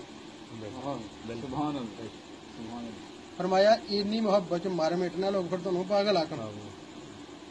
ਹਜ਼ਰਤ ਅਬਦੁੱਲਾ ਬਿਨ ਜ਼ੁਬੈਰ ਰਜ਼ੀ ਅੱਲਾਹ ਤਾਲਾ ਨੂੰ ਸਰਕਾਰ ਇੱਕ ਦਿਨ ਕੋਲ ਸੀ ਇੱਕ ਹੁੰਦਾ ਸੇਂਗੀਆਂ ਲਗਵਾਉਣਾ ਹਜਾਮਾ ਕਰਵਾਉਣਾ। ਸੇਂਗੀਆਂ ਉਹਨੂੰ ਕਹਿੰਦੇ ਨੇ ਜਿਹੜੀਆਂ ਇੱਥੇ ਕੁੱਪੀਆਂ ਲਾਉਂਦੇ ਨੇ। ਕੁੱਜੀਆਂ ਜੀਆਂ ਲਾਉਂਦੇ ਨੇ ਤੇ ਖੂਨ ਫਸਦ ਖੂਨ ਕੱਢਦੇ ਨੇ। ਇਹ ਸਰਕਾਰ ਦੀ ਸੁਣਨਾ। ਅਗਰ ਕਿਤੇ ਕਿਸੇ ਹਿੱਸੇ ਦੇ ਵਿੱਚ ਯਾਰ ਦਰਦ ਹੁੰਦੀ ਹੋਏ ਤੇ ਜਾਂਦੀ ਨਾ ਹੋਏ ਜਾਂ ਕੋਈ ਮਰਜ਼ ਵੀ ਨਾ ਹੋਏ ਤੇ ਸਾਲ ਦੇ ਸਾਲ ਸੇਂਗੀਆਂ ਲਗਵਾਉਣੀਆਂ ਪਛਣੇ ਲਗਵਾਉਣਾ, ਯਾਨੀ ਬਲੇਡ ਦੇ ਨਾਲ ਥੋੜੇ ਥੋੜੇ ਪੱਚ ਕਰਾ ਕੇ ਪਿਓ ਉਹਦੇ ਲਾਉਂਦੇ ਨੇ, ਅਹ, ਇੱਕ ਨਾ ਕੋਈ ਕੁੱਪੀ ਲਾਉਂਦੇ ਨੇ, ਉਹ ਜਿਹੜਾ ਫਾਸਦ ਖੂਨ ਉਹ ਨਿਕਲ ਜਾਂਦਾ। ਇਹਦੇ ਨਾਲ ਬੰਦੇ ਦੀ ਸਿਹਤ ਠੀਕ ਹੁੰਦੀ ਆ, ਰੰਗ ਲਾਲ ਹੁੰਦਾ। ਇਹ ਸਰਕਾਰ ਨੇ ਆਪਣੇ ਉਹ ਲਗਵਾਏ ਯਾਰ ਪਛਣੇ ਲਗਵਾਏ। ਲਗਵਾਏ ਤੇ ਆਪਨੇ ਅਬਦੁੱਲਾ ਬਿਨ ਜ਼ੁਬੈਰ ਨੂੰ ਖੂਨ ਜਮਾ ਕਰਕੇ ਨਾ ਤਾਂ ਮੈਂ ਉਹ ਖਾਤੇ ਖੂਨ ਹੈ ਬਾਹਰ ਜਾ ਕੇ ਕਹਿੰਦਾ ਉਹ ਜੋੜ ਦਿਓ। ਪਾਸੇ ਖੂਨ ਫੜਿਆ ਦਰਵਾਜ਼ੇ ਤੋਂ ਬਾਹਰ ਨਿਕਲਿਆ ਸਰਕਾਰ ਦੀ ਨਜ਼ਰ ਤੋਂ ਓਝਲ ਹੋਇਆ ਉਹ ਸਿੱਧਾ ਮੂੰਹ ਨੂੰ ਲਾ ਦਿੱਤਾ। ਆਪਨੇ ਕੀ ਫਰਮਾਇਆ ਸੀ ਸੋਟਾ ਉਹਨੇ ਸਿੱਧਾ ਮੂੰਹ ਨੂੰ ਲਾ ਲਿਆ। ਅੱਧਾ ਕੇ ਪੀਤਾ ਸੀ ਤੇ ਹਜ਼ਰਤ ਅਬੀ ਹੁਰੈਰਾ ਰਜ਼ੀ ਅੱਲਾਹ ਤਾਲਾ ਨੂੰ ਆਪ ਤਸ਼ਰੀਫ ਲੈ ਆਪ ਨੂੰ ਮਾਇਆ ਇਹ ਕੀ ਕਰਨਾ ਪਿਆ? ਖੂਨ ਪੀਣਾ ਪਿਆ? ਕਹਿਣ ਲੱਗਾ ਯਾਰ ਇੱਕ ਮਿੰਟ ਠਹਿਰ ਉਹਨਾਂ ਬਾਕੀ ਵੀ ਪੀ ਕੇ ਤਾਂ ਕਿਹਾ ਹਾਂਜੀ ਜਨਾਬ ਖੂਨ ਪੀਣਾ ਇਹ ਕਿਦਾ ਕਹਿਣ ਲੱਗੇ ਯਾਰ ਚੁੱਪ ਕਰ ਜਾ ਤੇ ਅੰਦਰ ਆ ਜਾ। ਅੰਦਰ ਆਇਆ ਆਪਨੇ ਫਰਮਾਇਆ ਕਿ ਹਾਂ ਵੀ ਖੂਨ ਛੋਟਾ ਹੈ ਉਹ ਇਹ ਹਾਂਜੀ ਉਹ ਛੋਟਾ ਹੈ ਹਜ਼ਰਤ ਅਬੂ ਹੁਰੈਰਾ ਰਜ਼ੀ ਅੱਲਾਹ ਤਾਲਾ ਨੂੰ ਆਪਨੇ ਫਰਮਾਇਆ ਤੈਨੂੰ ਅੱਲਾ ਦੀ ਕਸਮ ਲੱਗੇ ਸੱਚੀ ਗੱਲ ਕਰ ਸਰਕਾਰ ਝੂਠ ਬੋਲਦਾ ਪਿਆ ਇਹਨੇ ਨਹੀਂ ਸੁੱਟਿਆ। ਮੈਂ ਇਹਨੂੰ ਦੇਖਿਆ ਨਾ ਮੇਰੇ ਸਾਹਮਣੇ ਪੀਤਾ। ਤਾਂ ਮੈਂ ਕਿਉਂ ਪੀਤਾ? ਹੁਣ ਕੁਰਾਨ ਪਾਕ ਦੀ ਆਇਤ ਸੁਣੋ।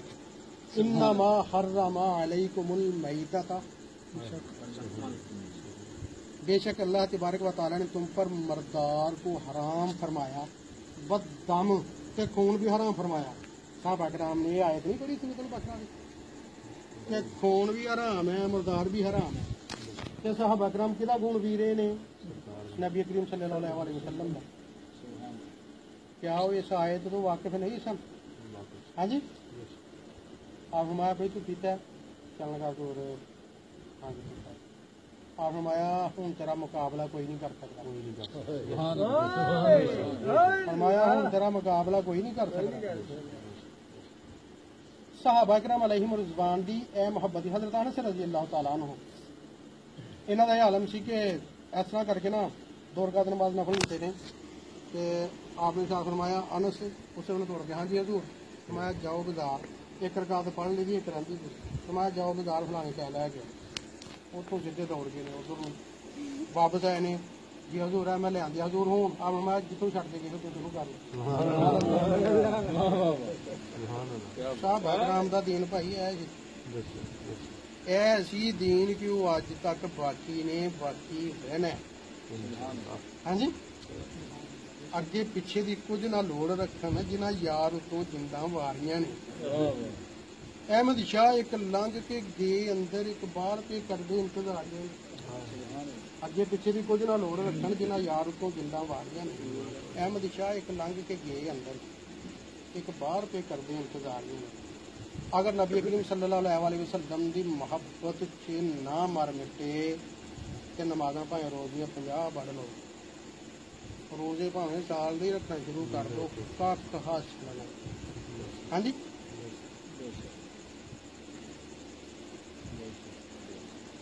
ਅੱਛਾ, ਇਹ ਹੁਕਮ ਜਿਹੜਾ ਸੀ ਸਾਹਬਾ ਕਰਾਮ ਦੇ ਹੈ ਕਿ ਜਿਹੜੇ ਸਾਰੇ ਅਮਲ। ਆਪ ਦੇ ਮੂਹੇ ਮੁਬਾਰਕ, ਇਹ ਤਕਸੀਮ ਹੁੰਦੇ ਸਨ ਜਦੋਂ ਕਿਤੇ ਆਪਨੇ ਹੱਜ ਤੇ ਉਮਰ ਤੇ ਜਾ ਕੇ ਖਲਕ ਕਰਵਾਉਣਾ। ਬਾਲ ਸਾਰੇ ਉਤਰਵਾਣੇ ਉਹ ਬਾਲ ਸਾਹਿਬ ਇਕਰਾਮ ਦੇ ਵਿੱਚ ਬੜੇ ਅਦਬ ਇਤਰਾਮ ਦੇ ਨਾਲ। ਇਹ ਤਕਸੀਮ ਹੁੰਦੇ ਸੀ ਜਿਹੜੇ ਅੱਜ ਤੱਕ ਸਾਡੇ ਕੋਲ ਪਹੁੰਚ ਰਹੇ ਨੇ। ਇਹ ਹੁਕਮ ਨਾ ਹੀ ਤੇ ਅੱਲਾ ਦਾ ਤੇ ਨਾ ਹੀ ਅੱਲਾ ਦੇ ਰਸੂਲ ਦਾ। ਇਹ ਸਾਹਿਬ ਇਕਰਾਮ ਦਾ ਮੁਹੱਬਤ ਔਰ ਇਸ਼ਕ ਦੇ ਵਿੱਚ ਆਪਣਾ ਇੱਕ ਜ਼ਾਤੀ ਅਮਲ ਸੀ।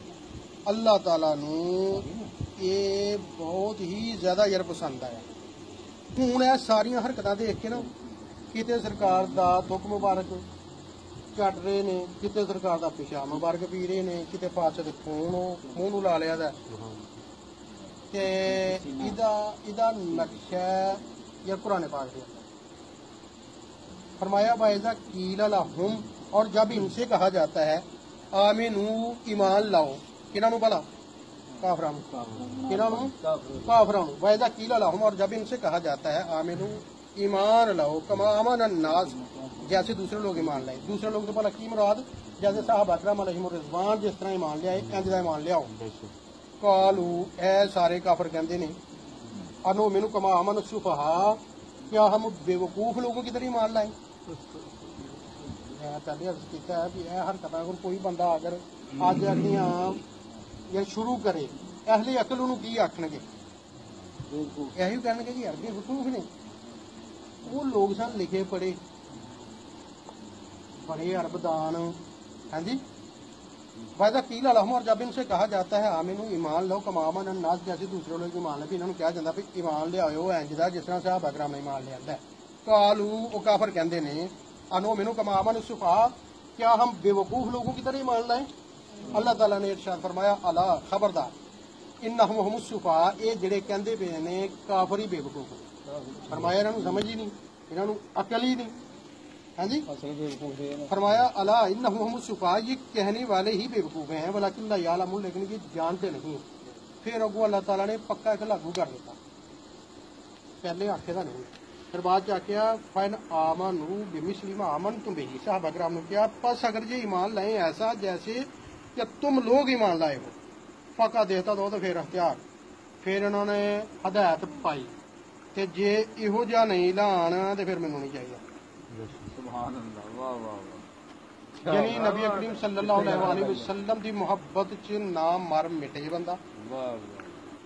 ਸਾਹਬਾ ਦਾ ਜਿਹੜਾ ਇਹੀ ਅਮਲ ਸੀ ਨਾ ਇਹ ਸਭ ਤੋਂ ਜ਼ਿਆਦਾ ਸੀ। ਇਸ਼ਕ ਸਰਕਾਰ ਦਾ ਉਹਨਾਂ ਨੂੰ ਜ਼ਿਆਦਾ ਸੀ।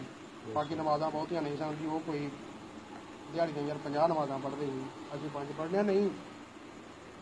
ਕੁਰਾਨੇ ਪਾਕ ਅੱਜ ਦੀ ਰੋਸ਼ਨੀ ਨੂੰ ਬਹੁਤਾ ਆਉਂਦਾ ਉਹਨੂੰ ਥੋੜਾ ਆਉਂਦਾ ਹੈ ਕਈ ਸਾਹਿਬ ਆਏ ਸੀ ਨੇ ਜਿਨ੍ਹਾਂ ਨੇ ਸਿਰਫ ਇੱਕ ਸੁਖਰੀ ਯਾਦ ਕੀਤੀ। ਅਤੇ ਖਾਲਦ ਬਿਨ ਵਲੀਦ ਤੋਂ ਪੁੱਛਿਆ ਗਿਆ ਕਿ ਕਿੰਨੀਆਂ ਜ਼ਰੂਰਤਾਂ ਆਉਂਦੀਆਂ ਉਹਨਾਂ ਕਿਹਾ ਇੱਕ ਅਲਹਮਦੁਲਿਲਾ ਉਹਨਾਂ ਤੋਂ ਉਹ ਉਹ ਕਿਹਾ ਹੋਰ ਇੱਕ ਆਂਦੀ ਕੁੱਲ ਹਵੱਲਾ। ਉਹਨਾਂ ਕਿਹਾ ਬਾਕੀ ਕੁਰਾਨ ਉਹਨਾਂ ਕਿਹਾ ਭਾਈ ਇਹ ਬੜੀ ਮੁਸ਼ਕਲ ਕੀਤਾ ਹੈ, ਜੰਗਾਂ 'ਚ ਟਾਈਮ ਨਹੀਂ ਮਿਲਿਆ। ਸੁਭਾਨ ਅੱਲਾਹ ਸਾਰੀ ਜ਼ਿੰਦਗੀ ਕੋਲ ਹਵਾਲਾ ਤੇ ਅਲਹਮਦੁਲਿਲਾ ਮੈਂ ਜੇ ਨਮਾਜ਼ ਪੜ੍ਹਨੇ ਵਾਸਤੇ ਕੀਤੀ ਹੋਈ ਹੈ ਤਾਂ ਨਹੀਂ। ਸੁਭਾਨ। ਅੱਜ ਤੁਸੀਂ ਬੱਚੇ ਬੱਚੇ ਨੂੰ ਦੇਖੋ ਉਹਨੂੰ ਯਾਰ ਕਿੰਨੀਆਂ ਸਹੂਲਤਾਂ ਹਾਂਜੀ। ਲੇਕਿਨ ਅਸਲ ਜਿਹੜਾ ਹੈ ਉਹ ਹੈ ਮੁਹੱਬਤ ਰਸੂਲ। ਮੁਹੱਬਤ ਰਸੂਲ ਹੈ ਤੇ ਫਿਰ ਸਾਰਾ ਕੁਝ ਠੀਕ ਹੈ। ਮੁਹੱਬਤ ਰਸੂਲ ਨਹੀਂ ਤੇ ਇਹੋ ਜਿਹਾ ਈਮਾਨ ਦੱਬਣ ਦੇ ਕਾਬਿਲ ਰੱਖਣ ਦੇ ਕਾਬਿਲ ਨਹੀਂ ਜਦੋਂ ਰੂਹ ਨਾ ਰਵੇ ਤੇ ਸਾਰਾ ਜਿਸਮ ਫੁੱਲ ਹੋਵੇ ਪੂਰਾ ਹੋਵੇ ਹੱਡੀਆਂ ਵੀ ਹਰ ਸ਼ੈ ਅੱਖਾਂ ਕੰਨ ਹੱਥ ਪੈਰ ਲੱਤਾਂ ਬਾਹਾਂ ਸਾਰਾ ਕੁਝ ਹੋਵੇ ਲੇਕਿਨ ਉਹ ਰੱਖਣ ਦੇ ਕਾਬਿਲ ਨਹੀਂ ਹੁੰਦਾ। ਤੇ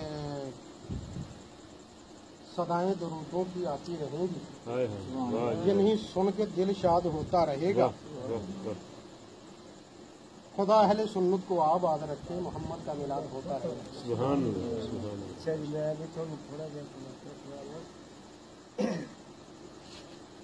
ਦਾਤਾ ਹਸੂਰ ਇੱਕ ਅਮਰੀਕਾ ਦੇ ਵਿੱਚੋਂ ਉਸ ਨੂੰ ਸਰਕਾਰ ਕਾਰਜ ਮਿਲੀ ਤੇ ਉਹ ਪੁੱਛਦਾ ਪੁੱਛਦਾ ਉਸਨੇ ਕਿ ਲਾਹੌਰ ਆ ਗਿਆ ਕਿਤੇ ਕਿਤੇ ਜੋ ਬਣੀ ਇਹ ਕੰਮ ਹੁਆ ਹੈ ਕਦੇ ਕਿਸੇ ਦਾ ਕੰਮ ਹੁਆ ਹੈ ਵਿਚਾਰੇ ਅਖੀਰ ਲਾਹੌਰ ਉੱਤੇ ਜਾ ਕੇ ਸਾਹ ਪਹੁੰਚ ਮੈਂ ਕਹਿੰਦੀ ਅਲੀ ਹਜ਼ਰੇਨੀ ਜੋ ਕਹਿੰਦੇ ਕਿ ਤੁਸੀਂ ਸਰਕਾਰ ਨੇ ਆਪ ਦੇ ਵਿੱਚ ਉਸ ਨੂੰ ਕਲਮਾ ਪੜਾਇਆ ਸੁਭਾਨ ਅੱਲਾਹ ਸੁਭਾਨ ਅੱਲਾਹ ਆਪ ਵਿੱਚ ਮੁਸਲਮਾਨ ਹੋ ਚੁੱਕੇ ਨੇ ਉਸਨੇ ਸਰਾਣੇ ਵਾਲੇ ਪਾਸੇ ਜਾ ਕੇ ਸਰਕਾਰ ਦੇ ਇੱਕ ਟਿੱਬੇ ਦੇ ਉੱਤੇ ਸੀ ਆਪ ਦਾ ਮਜ਼ਾਰ ਹੁਣ ਵੀ ਦੇਖਿਆ ਕਾਫੀ ਜਗ੍ਹਾ ਉੱਚੀ ਹੈ। ਕਈ ਲੋਕੀ ਕਹਿੰਦੇ ਕਿ ਥੱਲੇ ਜ਼ਮੀਨ ਦੇ ਵਿੱਚ ਆਪ ਦੀ ਕਬਰ ਹੈ ਤੇ ਆਪ ਦੀ ਉੱਤੇ ਤਬੀਰ ਬਣਾ ਦਿੱਤਾ ਗਿਆ ਐਵੇਂ ਲੋਕਾਂ ਨੇ ਉਹ ਟਿੱਬੇ ਦੇ ਉੱਤੇ ਸੀ ਸਰਕਾਰ ਦੀ ਕਬਰ ਤੇ। ਟਿੱਬੇ ਦੇ ਨਾਲ ਇੱਕ ਦੀਵਾਰ ਸੀ। ਉਹਨਾਂ ਨੇ ਇੱਕ ਪੱਕੀ ਮਜ਼ਬੂਤ ਕੀਤੀ ਹੋਈ। ਵਾਵਾ ਮੋਟੀ ਸਾਰੀ ਦੀਵਾਰ। ਕਿਸੇ ਦੌਰ ਦੇ ਅੱਛੇ ਮਤਲਬ ਉਸ ਸ਼ਖਸ ਸਰਾਣੇ ਵਾਲੇ ਪਾਸੇ ਜਾ ਕੇ ਜਿਸ ਨੇ ਸਰਕਾਰ ਦੇ ਮੁਸਲਮਾਨ ਹੋ ਗਏ ਨਾ ਉਸ ਤੋਂ ਬਾਅਦ ਸਰਾਣੇ ਵਾਲੇ ਪਾਸੇ ਜਾ ਕੇ ਇਸ ਤਰ੍ਹਾਂ ਦੀਵਾਰ ਦੇ ਨਾਲ ਖੜਾ ਹੋ ਕੇ ਨਾ ਤੇ ਕੁਝ ਜ਼ਿੰਦਗੀ ਦਾ ਹਿੱਸਾ ਉਸ ਸ਼ਖਸ ਨੇ ਗਵਾਇਆ ਮਿਸਾਲ ਤੌਰ ਤੇ ਇਹ ਦੀਵਾਰ ਹੈ ਨਾ ਇਸ ਤਰ੍ਹਾਂ ਖੜਾ ਰਿਹਾ। ਇਹ ਵੀ ਦੀਵਾਰ ਦੀ ਦੀਵਾਰ ਹੈ ਦੀਵਾਰ ਤੇ ਮੁਸਲਮਾਨ ਹੈ ਮੈਂ ਤਰ੍ਹਾਂ ਇਸ ਪੂਰੀ ਕੁਝ ਜ਼ਿੰਦਗੀ ਦਾ ਹਿੱਸਾ ਇਸ ਬੜਾ ਇੱਕ ਵਿਚਾਰਾ ਪਤਾ ਨਹੀਂ ਆ ਗਿਆ ਜਿਸ ਵੇਲੇ ਉਹ ਫਰੂਕ ਉਸਦਾ ਨਾਂ ਆਇਆ ਫਰੂਕ ਅਲੀ ਮਤਲਬ ਉਸ ਦੌਰ ਤੋਂ ਪਹਿਲੇ ਉਹ ਵਕੀਲ ਤੱਕ ਜਿਸ ਵੇਲੇ ਉਹ ਜਿਸ ਨੇ ਪਰਦਾ ਫਰਮਾ ਗਿਆ ਇਹ ਸਦਰ ਜ਼ਿਆਦਾ ਦੌਰ ਦੇਖਿਆ ਹੈ ਤਕਰੀਬਨ ਉਸ ਦੌਰ ਦੇ ਵਿੱਚ ਇੱਕ ਮਸਜਿਦ ਬਣਾਈ ਹੈ ਜਿਆ ਜਿਆ ਮਤਲਬ ਉਹ ਜੇ ਮਾਰਕੀਟਾਂ ਵਿੱਚ ਮਿਲਿਆ, ਮੀਟ ਕਰ ਛੜੀਆਂ, ਇੱਕ ਮਸਜਿਦ ਸੀ ਵੀ ਸਕੂਲ ਵੀ, ਹਰ ਚੀਜ਼, ਮਾਰਕੀਟਾਂ, ਹਰ ਚੀਜ਼ ਮਿਲਿਆ ਮੀਟ ਕਰਕੇ ਆਬਾਦੀਆਂ ਵੀ। ਤੇ ਤੋੜ ਸੜਕ ਤੱਕ ਕਰਨਾ ਮਸਜਿਦ ਲੈ ਸਕਦੇ। ਅੱਛਾ, ਉਸ ਮਸਲੇ ਦੇ ਕਾਫੀ ਸਾਰੇ ਮਜ਼ਾਰ ਸੀ। ਉਹਨਾਂ ਨੇ ਸਾਰੇ ਮਿਲੀਆਂ ਮੇਟ ਕਰਕੇ ਹੱਡੀਆਂ ਗਈਆਂ ਨਾ, ਤੇ ਸਿਰ ਕਬਰਸਤਾਨ ਸੀ। ਉਹ ਜਾ ਕੇ ਦਰਿਆ ਦੇ ਵਿੱਚ ਰੁੜ ਦਿੰਦੇ ਉਸੇ ਚੱਲਣਾ ਜਿਸ ਵੇਲੇ ਫਰੂਕ ਐਡੀਟੋਰ ਦੇ ਮਸਲੇ ਕਿ ਜਿਸ ਵੇਲੇ ਉਹਨਾਂ ਨੇ ਉਹਨਾਂ ਨੇ ਉਹਨੂੰ ਉਹ ਕਿਹਾ ਮਿਲੀਆ ਮੇਟ ਕਰ ਦੋ ਇਹ ਵੀ ਜਿਸ ਵੇਲੇ ਉਹਨਾਂ ਨੇ ਗੈਤੀ ਮਾਰੀ ਹੈ ਨਾ। ਯਕੀਨੀ ਤੌਰ ਦੇ ਉੱਤੇ ਕਹਿੰਦੇ ਨੇ ਖੂਨ ਦਾ ਫੁਹਾਰਾ ਹੀ ਨਿਕਲਿਆ। ਇਸ ਤਰ੍ਹਾਂ ਕਿ ਸਹਾਬੀ ਰਸੂਲ ਦਾ ਤੇ ਤਲਵਾਰ ਲੱਗੇ 1400 ਸਾਲ ਹੋਏ। ਅਜੇ ਵੀ ਮਸਲੇ ਕਿ ਕਿੰਨੇ ਕਿੰਨੇ ਕਿੰਨੇ ਚਿਰ ਹੋਇਆ ਜਦੋਂ ਉਹਨਾਂ ਨੇ ਮਸਲੇ ਦੇ ਕਬਰ ਚੋਂ ਕੱਢਿਆ। ਅਜੇ ਵੀ ਉਹਨਾਂ ਦੇ ਮੱਥੇ ਦੇ ਉੱਤੇ ਖੂਨ ਦਾ ਫੁਹਾਰਾ ਛੁੱਟਦਾ ਸੀ। ਉਹ ਟਿਸ਼ੂ ਨਾਲ ਸਾਫ਼ ਕਰਦੇ ਸੀ ਤੇ ਫਿਰ ਫਿਰ ਖੂਨ ਦਾ ਫੁਹਾਰਾ ਛੁੱਟ ਜਾਂਦਾ ਸੀ। ਫਿਰ ਟਿਸ਼ੂ ਨਾਲ ਸਾਫ਼ ਕਰਦੇ ਸੀ, ਫਿਰ ਖੂਨ ਦਾ ਫੁਹਾਰਾ ਛੁੱਟ ਜਾਂਦਾ ਸੀ। ਯਕੀਨੀ ਤੌਰ ਤੇ ਜਿਸ ਨੇ ਫਰੂਕ ਐਡੀਟਰ ਦੇ ਮੁਸਲਿਮ ਉਸ ਦੀ ਇੱਕ ਅੰਬਲ ਗੁੱਸਾ ਦੇਖੋ, ਇੱਕ ਨਬੀ ਪਾਕ ਦੀ ਮੁਹੱਬਤ ਦੇ ਅੰਦਰ ਜਾਂ ਇੱਕ ਨਬੀ ਪਾਕ ਦੇ ਆਸ਼ਿਕ ਔਰ ਆਲੇ ਪਾਕ ਦੀ ਮੁਹੱਬਤ ਦੇ ਅੰਦਰ ਖੜੇ ਹੋ ਕੇ ਉਸ ਜ਼ਿੰਦਗੀ ਦਾ ਹਿੱਸਾ ਗੁਜ਼ਾਰ ਛੜਿਆ ਨਾ ਕੋਈ ਖਾਣਾ ਨਾ ਕੁਝ ਨਾ ਪੀਣਾ ਅੱਲਾ ਤਲੀਮ ਦਾ ਤਲੀਮ ਯਾਫਤਾ ਹੋ ਕੇ ਇੱਕ ਵਕੀਲ ਹੋ ਕੇ ਤੇ ਇਸ ਤਰ੍ਹਾਂ ਗੁਜ਼ਾਰ ਛੜੀ ਉਸ ਸ਼ਖਸ ਨੇ ਕਿ ਜਿਸ ਨੇ ਉਸਦਾ ਮਕਾਮ ਦੇਖੋ ਜਿਸ ਨੇ ਉਹਦੀ ਵੀ ਕਬਰ ਸੇ ਨਿਕਲਣ ਲੱਗੇ ਨਾ ਜਿਹਨੇ ਜਲਦੀ ਮਾਰੀ ਨਾਲ ਹੀ ਖੇਡ ਉਸੇ ਵੇਲੇ ਹੀ ਉਹ ਜਿਹੜਾ ਬਸਰੀ ਜਲਦੀ ਮਾਰੀ ਨਸਾ ਐਡਮਿਸ਼ਨ ਸਾਹਿਬ ਕੋਲ ਉਹ ਜੀ ਅਸੀਂ ਕੀ ਕਰੀਏ ਕੀ ਹੋਇਆ ਜੀ ਜੇ ਤੁਸੀਂ ਕਹਿੰਦੇ ਸੀ ਉਹਨੂੰ ਮਤਲਬ ਕਬਰਾਂ ਨੂੰ ਮਿਟਾ ਦਿਓ, ਦੋ, ਤੇ ਉੱਥੇ ਮੈਂ ਗੈਂਤੀ ਮਾਰੀ ਸਾਫ਼ ਕਰਨ ਵਾਸਤੇ ਉਹ ਤੇ ਖੂਨ ਦਾ ਫੁਹਾਰਾ ਨਿਕਲ ਆਇਆ। ਤੇ ਉਹਨੂੰ ਬੰਦ ਹੀ ਨਹੀਂ ਹੁੰਦਾ ਪਿਆ। ਚਲੋ, ਮਿੱਟੀ ਬੰਦ ਹੁੰਦਾ ਪਿਆ। ਅਖੀਰ ਆਏ ਸਾਰੇ, ਅਫਸਰ ਵੀ ਆਏ। ਉੱਥੇ ਆ ਕੇ ਅੱਲਾਹ ਤੋਂ ਆ ਕੀਤੀ ਆ ਅੱਲਾਹ ਸਾਡੀ ਮਾਫੀ ਦੇ ਦੇ ਅਸੀਂ ਨਜ਼ਾਰੇ ਪੱਕੇ ਬਣਾਉਂਦੇ ਆ ਸੋਹਣੇ ਕਰਕੇ ਬਣਾਉਂਦੇ ਆ ਇੱਕ ਕਮਰਾ ਜਮਾ ਬਣਾਉਂਦੇ ਆ ਲਿਆਜ਼ਾ ਕਿ ਸਾਨੂੰ ਮਾਫੀ ਦਿੱਤੀ ਜਾਏ ਠੀਕ ਅੱਲਾਹ ਦੇ ਦੁਆ ਕੀਤੀ ਹੈ ਸਰਕਾਰ ਦੇ ਕਦਮਾਂ ਵਿੱਚ ਫਿਰ ਖੂਨ ਬੰਦ ਹੋਇਆ। ਫਿਰ ਬਾਅਦ ਦੇ ਵਿੱਚ ਉਹ ਮਤਲਬ ਬਾਜ਼ਾਰ ਪੱਕੇ ਮੇਰੇ ਕਮਰੇ ਦੇ ਨਾਲ ਹੀ ਮੈਂ ਕਹਿੰਦਾ ਕਿ ਮੁਹੱਬਤ ਰਸੂਲ ਦੀ ਬਾਤ ਹੋ ਇਹ ਮੁਹੱਬਤ ਰਸੂਲ ਹੈ ਨਾ। ਕਿ ਇੱਕ ਨਬੀ ਪਾਕ ਨਾਲ ਤੇ ਮੁਹੱਬਤ ਇੱਕ ਫਰਾਦ ਤੋਂ ਫਰਾਦ ਦੇਖੋ ਕਿੰਨੀ ਸ਼ਾਨ ਹੈ। ਤੇ ਨਬੀ ਪਾਕ ਦੀ ਆਲ ਦੇ ਨਾਲ ਮੁਹੱਬਤ ਉਸਨੇ ਕੀਤੀ ਹੈ ਤੇ ਉਹਦੀ ਇੱਕ ਸ਼ੇਰ ਮੈਨੂੰ ਯਾਦ ਆ ਗਿਆ ਪਹਿਲੇ ਸੁਣ। ਹੁਣ ਮੈਨੂੰ ਯਾਦ ਆ ਗਿਆ। ਵਿੱਚ ਉਹਦਾ ਭੁੱਲ ਗਏ ਕਿਉਂ ਜੀ? ਸੁਭਾਨ ਅੱਲਾਹ। एक शेर है सारे मोहब्बत वाले सोल वाले थे कोई नहीं। शेर है कि कितनी अजीब बात है। कि सुनते रहे कितनी अजीब बात है कि सुनते रहे वो देर तक। इतनी बड़े हजूम में सिर्फ़ मेरी ही रात था। हाँ, हाँ, हाँ।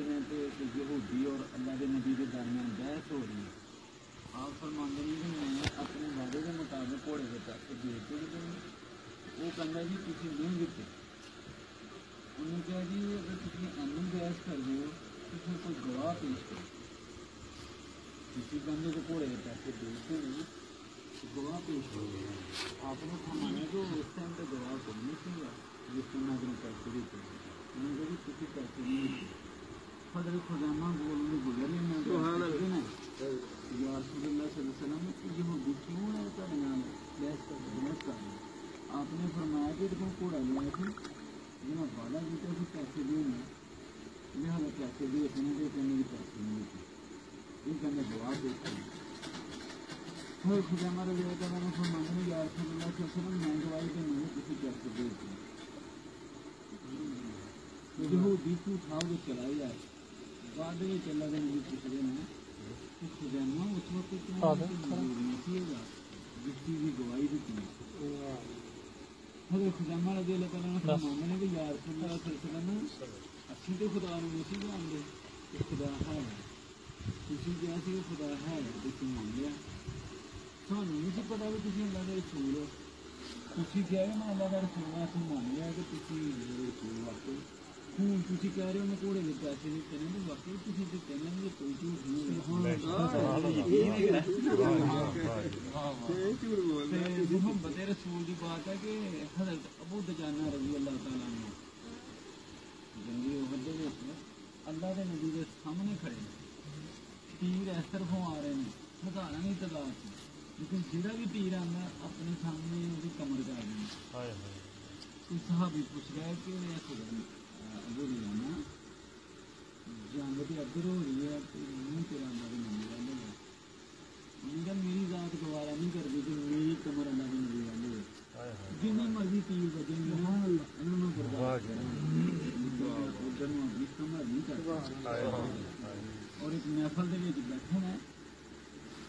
ਆਪਣੀ ਕਮਰ ਦੇ ਨਬੀ ਤੇ ਫਰਮਾਉਂਦੇ ਨੇ ਕਿ ਮੇਰੀ ਇਸ ਤਲਵਾਰ ਦਾ ਹੱਕ ਕੌਣ ਅਦਾ ਕਰੇਗਾ? ਮੇਰੀ ਇਸ ਤਲਵਾਰ ਦਾ ਹੱਕ ਕੌਣ ਅਦਾ ਕੌਣ ਅਦਾ ਕਰੇਗਾ? ਸੁਬਾ ਜੰਗ ਹੋਣੀ ਹੈ।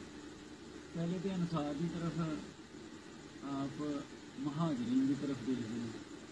ਹਰ ਕੋਈ ਸਾਹਬੀ ਕਹਿੰਦਾ ਵੀ ਯਾਰ ਕੀ ਹੈ ਕਹਿੰਦਾ ਇਹ ਸਾਬਤ ਮੈਨੂੰ ਨਸੀਬ ਹੋਏ। ਇਹ ਸਾਬਤ ਮੈਨੂੰ ਨਸੀਬ ਹੋਏ। ਫਿਰ ਆਪ ਅਨਸਾਰ ਦੀ ਤਰਫ ਦੇਖਦੇ ਨੇ ਤੇ ਅਨਸਾਰ ਵੱਲੋਂ ਹਜ਼ਰਤ ਅਬੂ ਦੁਜਾਨਾ ਨੂੰ ਪੁੱਛਦੇ ਨੇ ਅਬੂ ਦੁਜਾਨਾ ਤੇਰਾ ਕੀ ਖਿਆਲ ਹੈ ਹਜ਼ਰਤ ਅਬੂ ਦੁਜਾਨਾ ਨੂੰ ਫਰਮਾਉਂਦੇ ਨੇ ਕਿ ਯਾਰ ਕੀ ਹੈ ਜਿਸ ਤਰ੍ਹਾਂ ਤੁਹਾਡੀ ਮਰਜ਼ੀ ਹੈ ਫਰਮਾਇਆ ਕਿ ਤਲਵਾਰ ਲੈ ਇਹਦਾ ਹੱਕ ਅਦਾ ਕਰਨਾ ਸੁਬਾ ਠੀਕ ਹੈ ਯਾਰ ਕੀ ਹੈ। ਉੱਥੇ ਬੜੇ ਬੜੇ ਜਈਏ ਸਾਹਿਬ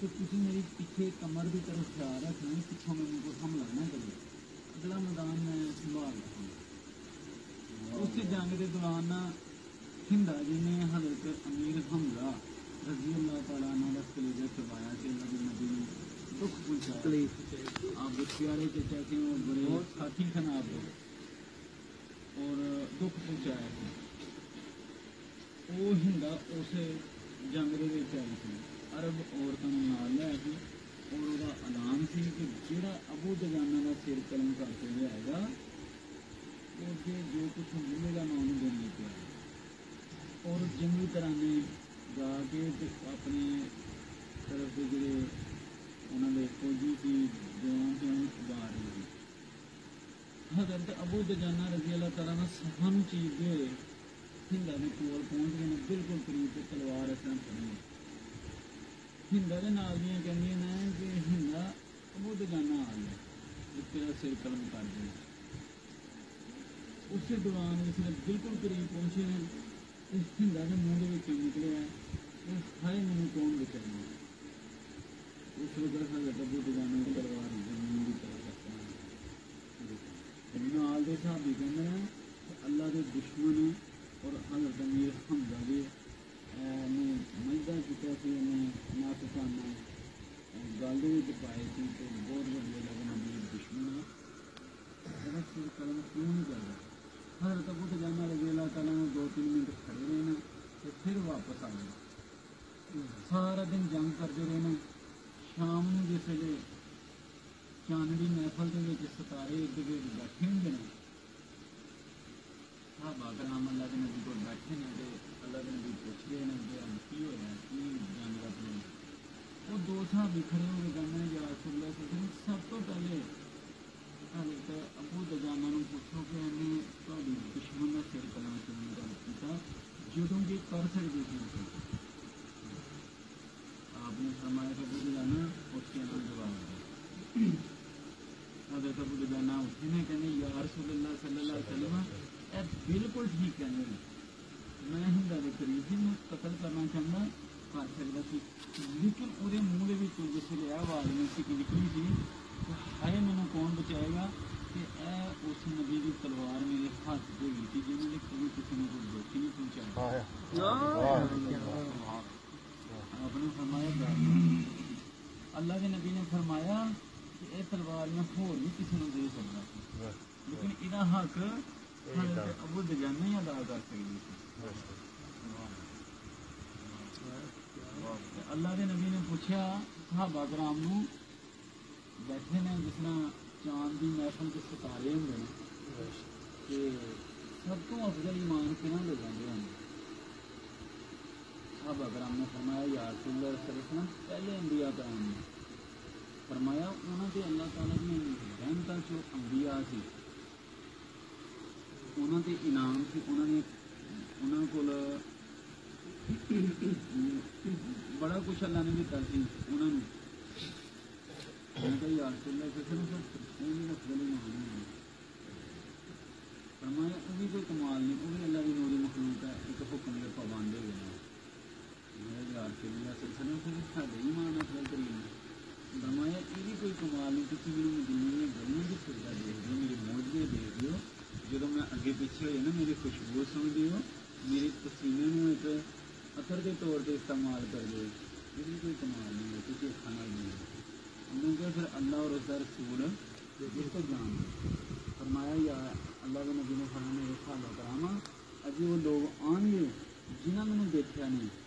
इतने ना तो जान कुर्बान करनी वो अफजल तरीन ईमान वाले होंगे।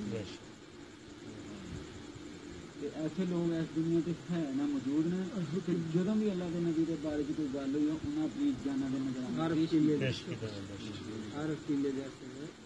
फरदोस को भी आँख उठा देखते नहीं किस कदर किस कदर मेरे चश्मे पूरे बताते लोग। उन्होंने सामने जन्नत फरदोस की कोई हैसियत नहीं है। ਉਹਨਾਂ ਅਸਾਂ ਨੂੰ ਗੋਲ ਦੀ ਗਲੀ ਜਿਹੜੀਆਂ ਨੇ ਇਹ ਜਮਾ ਦੇ ਇਹ ਤੇ ਇੱਕ ਵਕਤ ਜੇ ਸਰ ਗਜ਼ਵਾ ਬਦਰ ਦਾ ਮੁਕਾਮ ਆਇਆ ਰਾਤ ਦੇ ਵਿੱਚ ਅੱਲਾਹ ਦੇ ਨਬੀ ਨੇ ਫਰਮਾਇਆ ਕਿ ਤੁਹਾਡੇ ਤੋਂ ਕੋਈ ਲੋਗ ਕੌਮ ਦੀ ਬਣਾ ਦੇ ਦੁਨੀਆਦਾਰੀ ਦੀ ਬਣਾ ਦੇ ਕੁਝ ਆਪਣੀ ਹਸੀਅਤ ਨਾਲ। ਐਸੇ ਗਜ਼ਵੇ ਦੇ ਵਿੱਚ ਆਏ ਨਾ ਲੇਕਿਨ ਮੈਂ ਚਰਾਗ ਬੁਝਾ ਲੈਣਾ ਜਿੰਨੇ ਵਾਪਸ ਜਾਣਾ ਚਲਾ ਜਾਏ ਨਾ ਲੜੇ ਦੀ ਨਹੀਂ ਖਤਮ ਨਹੀਂ ਹੋਵੇ दीन का बलम करना तकलीफ़ जाने देना उस वक्त सब अकराम ने फरमाया यार सल्लम असी मूसा अलाम की कौम नहीं है जो रूह बीमारी आई है। कि यार अल्लाह के दुआ करो मना सरवा उतारे पर बनी इसराइल ने जो फिर जंग की वारी आई है तो फरमाया मूसा हूँ तू तो तेरा खुदा है नहीं लड़ना सानू यार सल्लम हुक्म दो असं अपनी जाना की निगरानी की ਅਲੈਹਿ ਵਸੱਲਮ ਨੇ ਹੁਕਮ ਦਿਓ ਅਸੀਂ ਆਪਣੀ ਜਾਨਾਂ ਦੀ ਨਿਗਰਾਨੀ ਪੇਸ਼ ਕਰੀਏ ਉਸ ਵਕਤ ਵੀ ਹਜ਼ਰਤ ਹੰਦਲਾ ਜੈਸੀ ਸ਼ਖਸੀਅਤ ਜਿਹੜੇ ਸੀ ਪਹਿਲੀ ਰਾਤ ਦੀ ਸੁਹਾਗਣ ਔਰਤ ਨੂੰ ਛੱਡ ਕੇ ਚਲੇ ਗਏ ਉਸ ਔਰਤ ਨੇ ਇਹ ਗੱਲ ਕਹੀ ਕਿ ਮੇਰੇ ਸਰਤਾਜ ਤੇਰੇ ਸਰਤਾਜ ਨੇ ਕੋਈ ਸੁਬਾ ਬੁਲਾਇਆ ਜਾਣਾ ਤੇ ਤੂੰ ਹੁਣ ਜਾ ਰਹੀ ਉਹਦੇ ਨਹੀਂ ਤੇਰੇ ਸਰਤਾਜ ਦੇ ਸਰਤਾਜ ਨੇ ਹੁਣ ਬੁਲਾਇਆ ਤੇ ਮੈਂ ਹੁਣ ਜਾ ਫਰਮਾਇਆ ਵਾਦਾ ਕਰ ਤੇ ਗਾਜੀ ਬਣ ਕੇ ਆਏਗਾ ਤੇ ਜ਼ਿੰਦਗੀ ਮੇਰੇ ਨਾਲ ਗੁਜ਼ਾਰੇਗਾ ਅਗਰ ਸ਼ਹੀਦ ਹੋ ਗਿਆ ਤਾਂ ਕੱਲ ਕਿਆਮਤ ਵਾਲੇ ਦਿਨ ਮੈਨੂੰ ਨਾਲ ਲੈ ਕੇ ਜੰਨਤ ਜਾਣਾ ਲੈਦਾ ਨਹੀਂ ਜਾਣਾ ਜਿਸ ਤਰ੍ਹਾਂ ਦਾ ਲਾਸ਼ਾ ਉੱਥੇ ਪਿਆ ਸੀ ਅੱਲਾ ਦੇ ਨਬੀ ਸਾਰਿਆਂ ਦੀ ਲਾਸ਼ੀ ਸ਼ਨਾਖਤ ਕਰ ਰਹੇ ਸੀ ਤੇ ਹੰਗਲਾ ਦੇ ਲਾਸ਼ੀ ਦੇ ਕੋਲੋਂ ਦੂਰੋਂ ਹੀ ਵਾਪਸ ਆ ਗਏ ਸਾਹਬਾ ਗ੍ਰਾਮ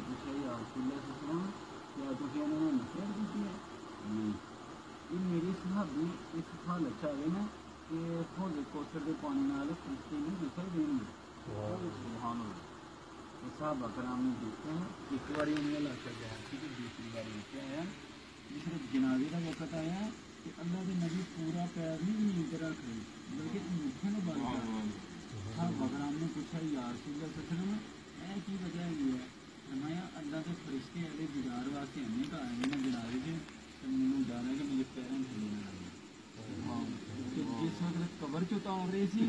ਸੁੱਲਾ ਸੱਚਣਾ ਇਹ ਕੀ ਵਜ੍ਹਾ ਹੈਗੀ ਹੈ ਫਰਮਾਇਆ ਅੱਲਾਹ ਦੇ ਫਰਿਸ਼ਤੇ ਇਹਦੇ ਦੀਦਾਰ ਵਾਸਤੇ ਇੰਨੇ ਘਰ ਆਏ ਨੇ ਜਨਾਜ਼ੇ 'ਚ ਤੇ ਮੈਨੂੰ ਡਰ ਹੈ ਕਿ ਮੇਰੇ ਪੈਰਾਂ ਨੂੰ ਥੱਲੇ ਨਾ ਲੱਗੇ ਤੇ ਜਿਸ ਵਕਤ ਕਬਰ 'ਚ ਉਤਾਰ ਰਹੇ ਸੀ ਤੇ ਖੁਸ਼ਬੂ ਜੰਨਤ ਦੀ ਤੇ ਹੋਦੇ ਕੋਸਰ ਦੇ ਪਾਣੀ ਦੇ ਕਦਰੇ ਗਾੜੀ ਮੁਬਾਰਕ ਚੋਂ ਤੇ ਜ਼ੁਲਫਾਂ ਤੋਂ ਤਬਕ ਰਹੇ ਸੁਭਾਨ ਅੱਲਾਹ ਦੇ ਨਬੀ ਸੁਭਾਨ ਅੱਲਾਹ ਸੁਭਾਨ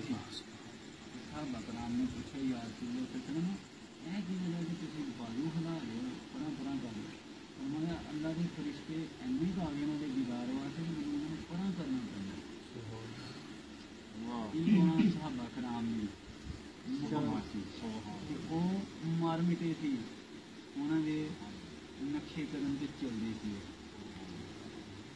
ਤੇ ਜਿਸ ਵਕਤ ਹਜ਼ਰਤ ਅਬੂ ਬਕਰ ਸਦੀਕ ਰਜ਼ੀ ਅੱਲਾਹ ਤਾਲਾ ਨੇ ਕੋਈ 40 ਸਾਲ ਪਹਿਲੇ ਜਾਂ 30 ਸਾਲ ਪਹਿਲੇ ਲੱਗ ਨਬੀ ਨੇ ਫਰਮਾਇਆ ਕਿ ਅਬੂ ਬਕਰ ਸਦੀਕ, ਤੂੰ ਮੇਰਾ ਦੋਸਤ ਹੈ ਮੇਰਾ ਯਾਰ ਹੈ, ਲੇਕਿਨ ਜਿਹੜੇ ਮੱਕੇ ਦੇ ਲੋਕ ਨੇ ਨਾ ਉਹਨਾਂ ਸਾਨੂੰ ਰਹਿਣ ਨਹੀਂ ਦੇਣਾ, ਸਾਨੂੰ ਇੱਕ ਵਕਤ ਆਣਾ ਕਿ ਮੱਕੇ ਤੋਂ ਚੂਟ ਕਰਨਾ ਜਾਣਾ। को चूट करना जाना ते जिस वक्त हिजरत की रात आई मक्के तो मदीने हिजरत करनी थी अल्लाह के नबी हजरत अबू बकर सदीक के घर आए ते कुंडी खटखटाई इंजे अगे अल्लाह के हजरत अबू बकर सदीक का थैला फड़ के खोते न गए ਤੇ ਕਿਆ ਅਬੂ ਬਕਰ ਸਦੀਕ ਹਿਜਰਤ ਕਰਨੀ ਚਲੇ ਗਏ ਜਿਸਲੇ ਗਾਰ ਦੇ ਵਿੱਚ ਪਹੁੰਚੇ ਗੱਲਬਾਤ ਕੀਤੀ ਤੇ ਕਿਆ ਅਬੂ ਬਕਰ ਸਦੀਕ ਕਿਆ ਤੈਨੂੰ ਪਤਾ ਸੀ ਕਿੰਨੇ ਆਣਾ ਤੈਨੂੰ ਬੁਲਾਉਣ ਵਾਸਤੇ ਤੇ ਯਾਰ ਸੁਣਿਆ ਸੱਚਾ ਅੱਜ ਤੋਂ 30 ਸਾਲ ਪਹਿਲੇ ਜਦੋਂ ਤੁਸੀਂ ਫਰਮਾਇਆ ਸੀ ਨਾ ਕਿ ਇਹਨਾਂ ਲੋਕਾਂ ਨੇ ਸਾਨੂੰ ਰਹਿਣ ਨਹੀਂ ਦੇਣਾ ਸੀ ਹਿਜਰਤ ਕਰਨੀ ਹੈ ਦਸਨ ਰਾਤ ਬਾਗ ਨੂੰ ਮੈਂ ਆਪਣੀ ਕਮਰ ਚਾਰ ਪਾਈ ਨਾਲ ਨਹੀਂ ਲਗਾਈ ਹਰ ਰਾਤ ਥੈਲਾ ਲੈ ਕੇ ਖਲੋਤਾ ਹੁੰਦਾ ਸੀ ਤੇ ਅੱਲਾ ਦੇ ਨਬੀ ਕਿਸੇ ਟਾਈਮ ਵੀ ਉਹਨੂੰ ਕਹਿ ਸਕਦੇ ਨੇ ਮੇਰੇ ਕੋਲੋਂ ਕੋਈ ਉਸਨੇ ਜੇ ਗਫਲਤ ਨਾ ਹੋਵੇ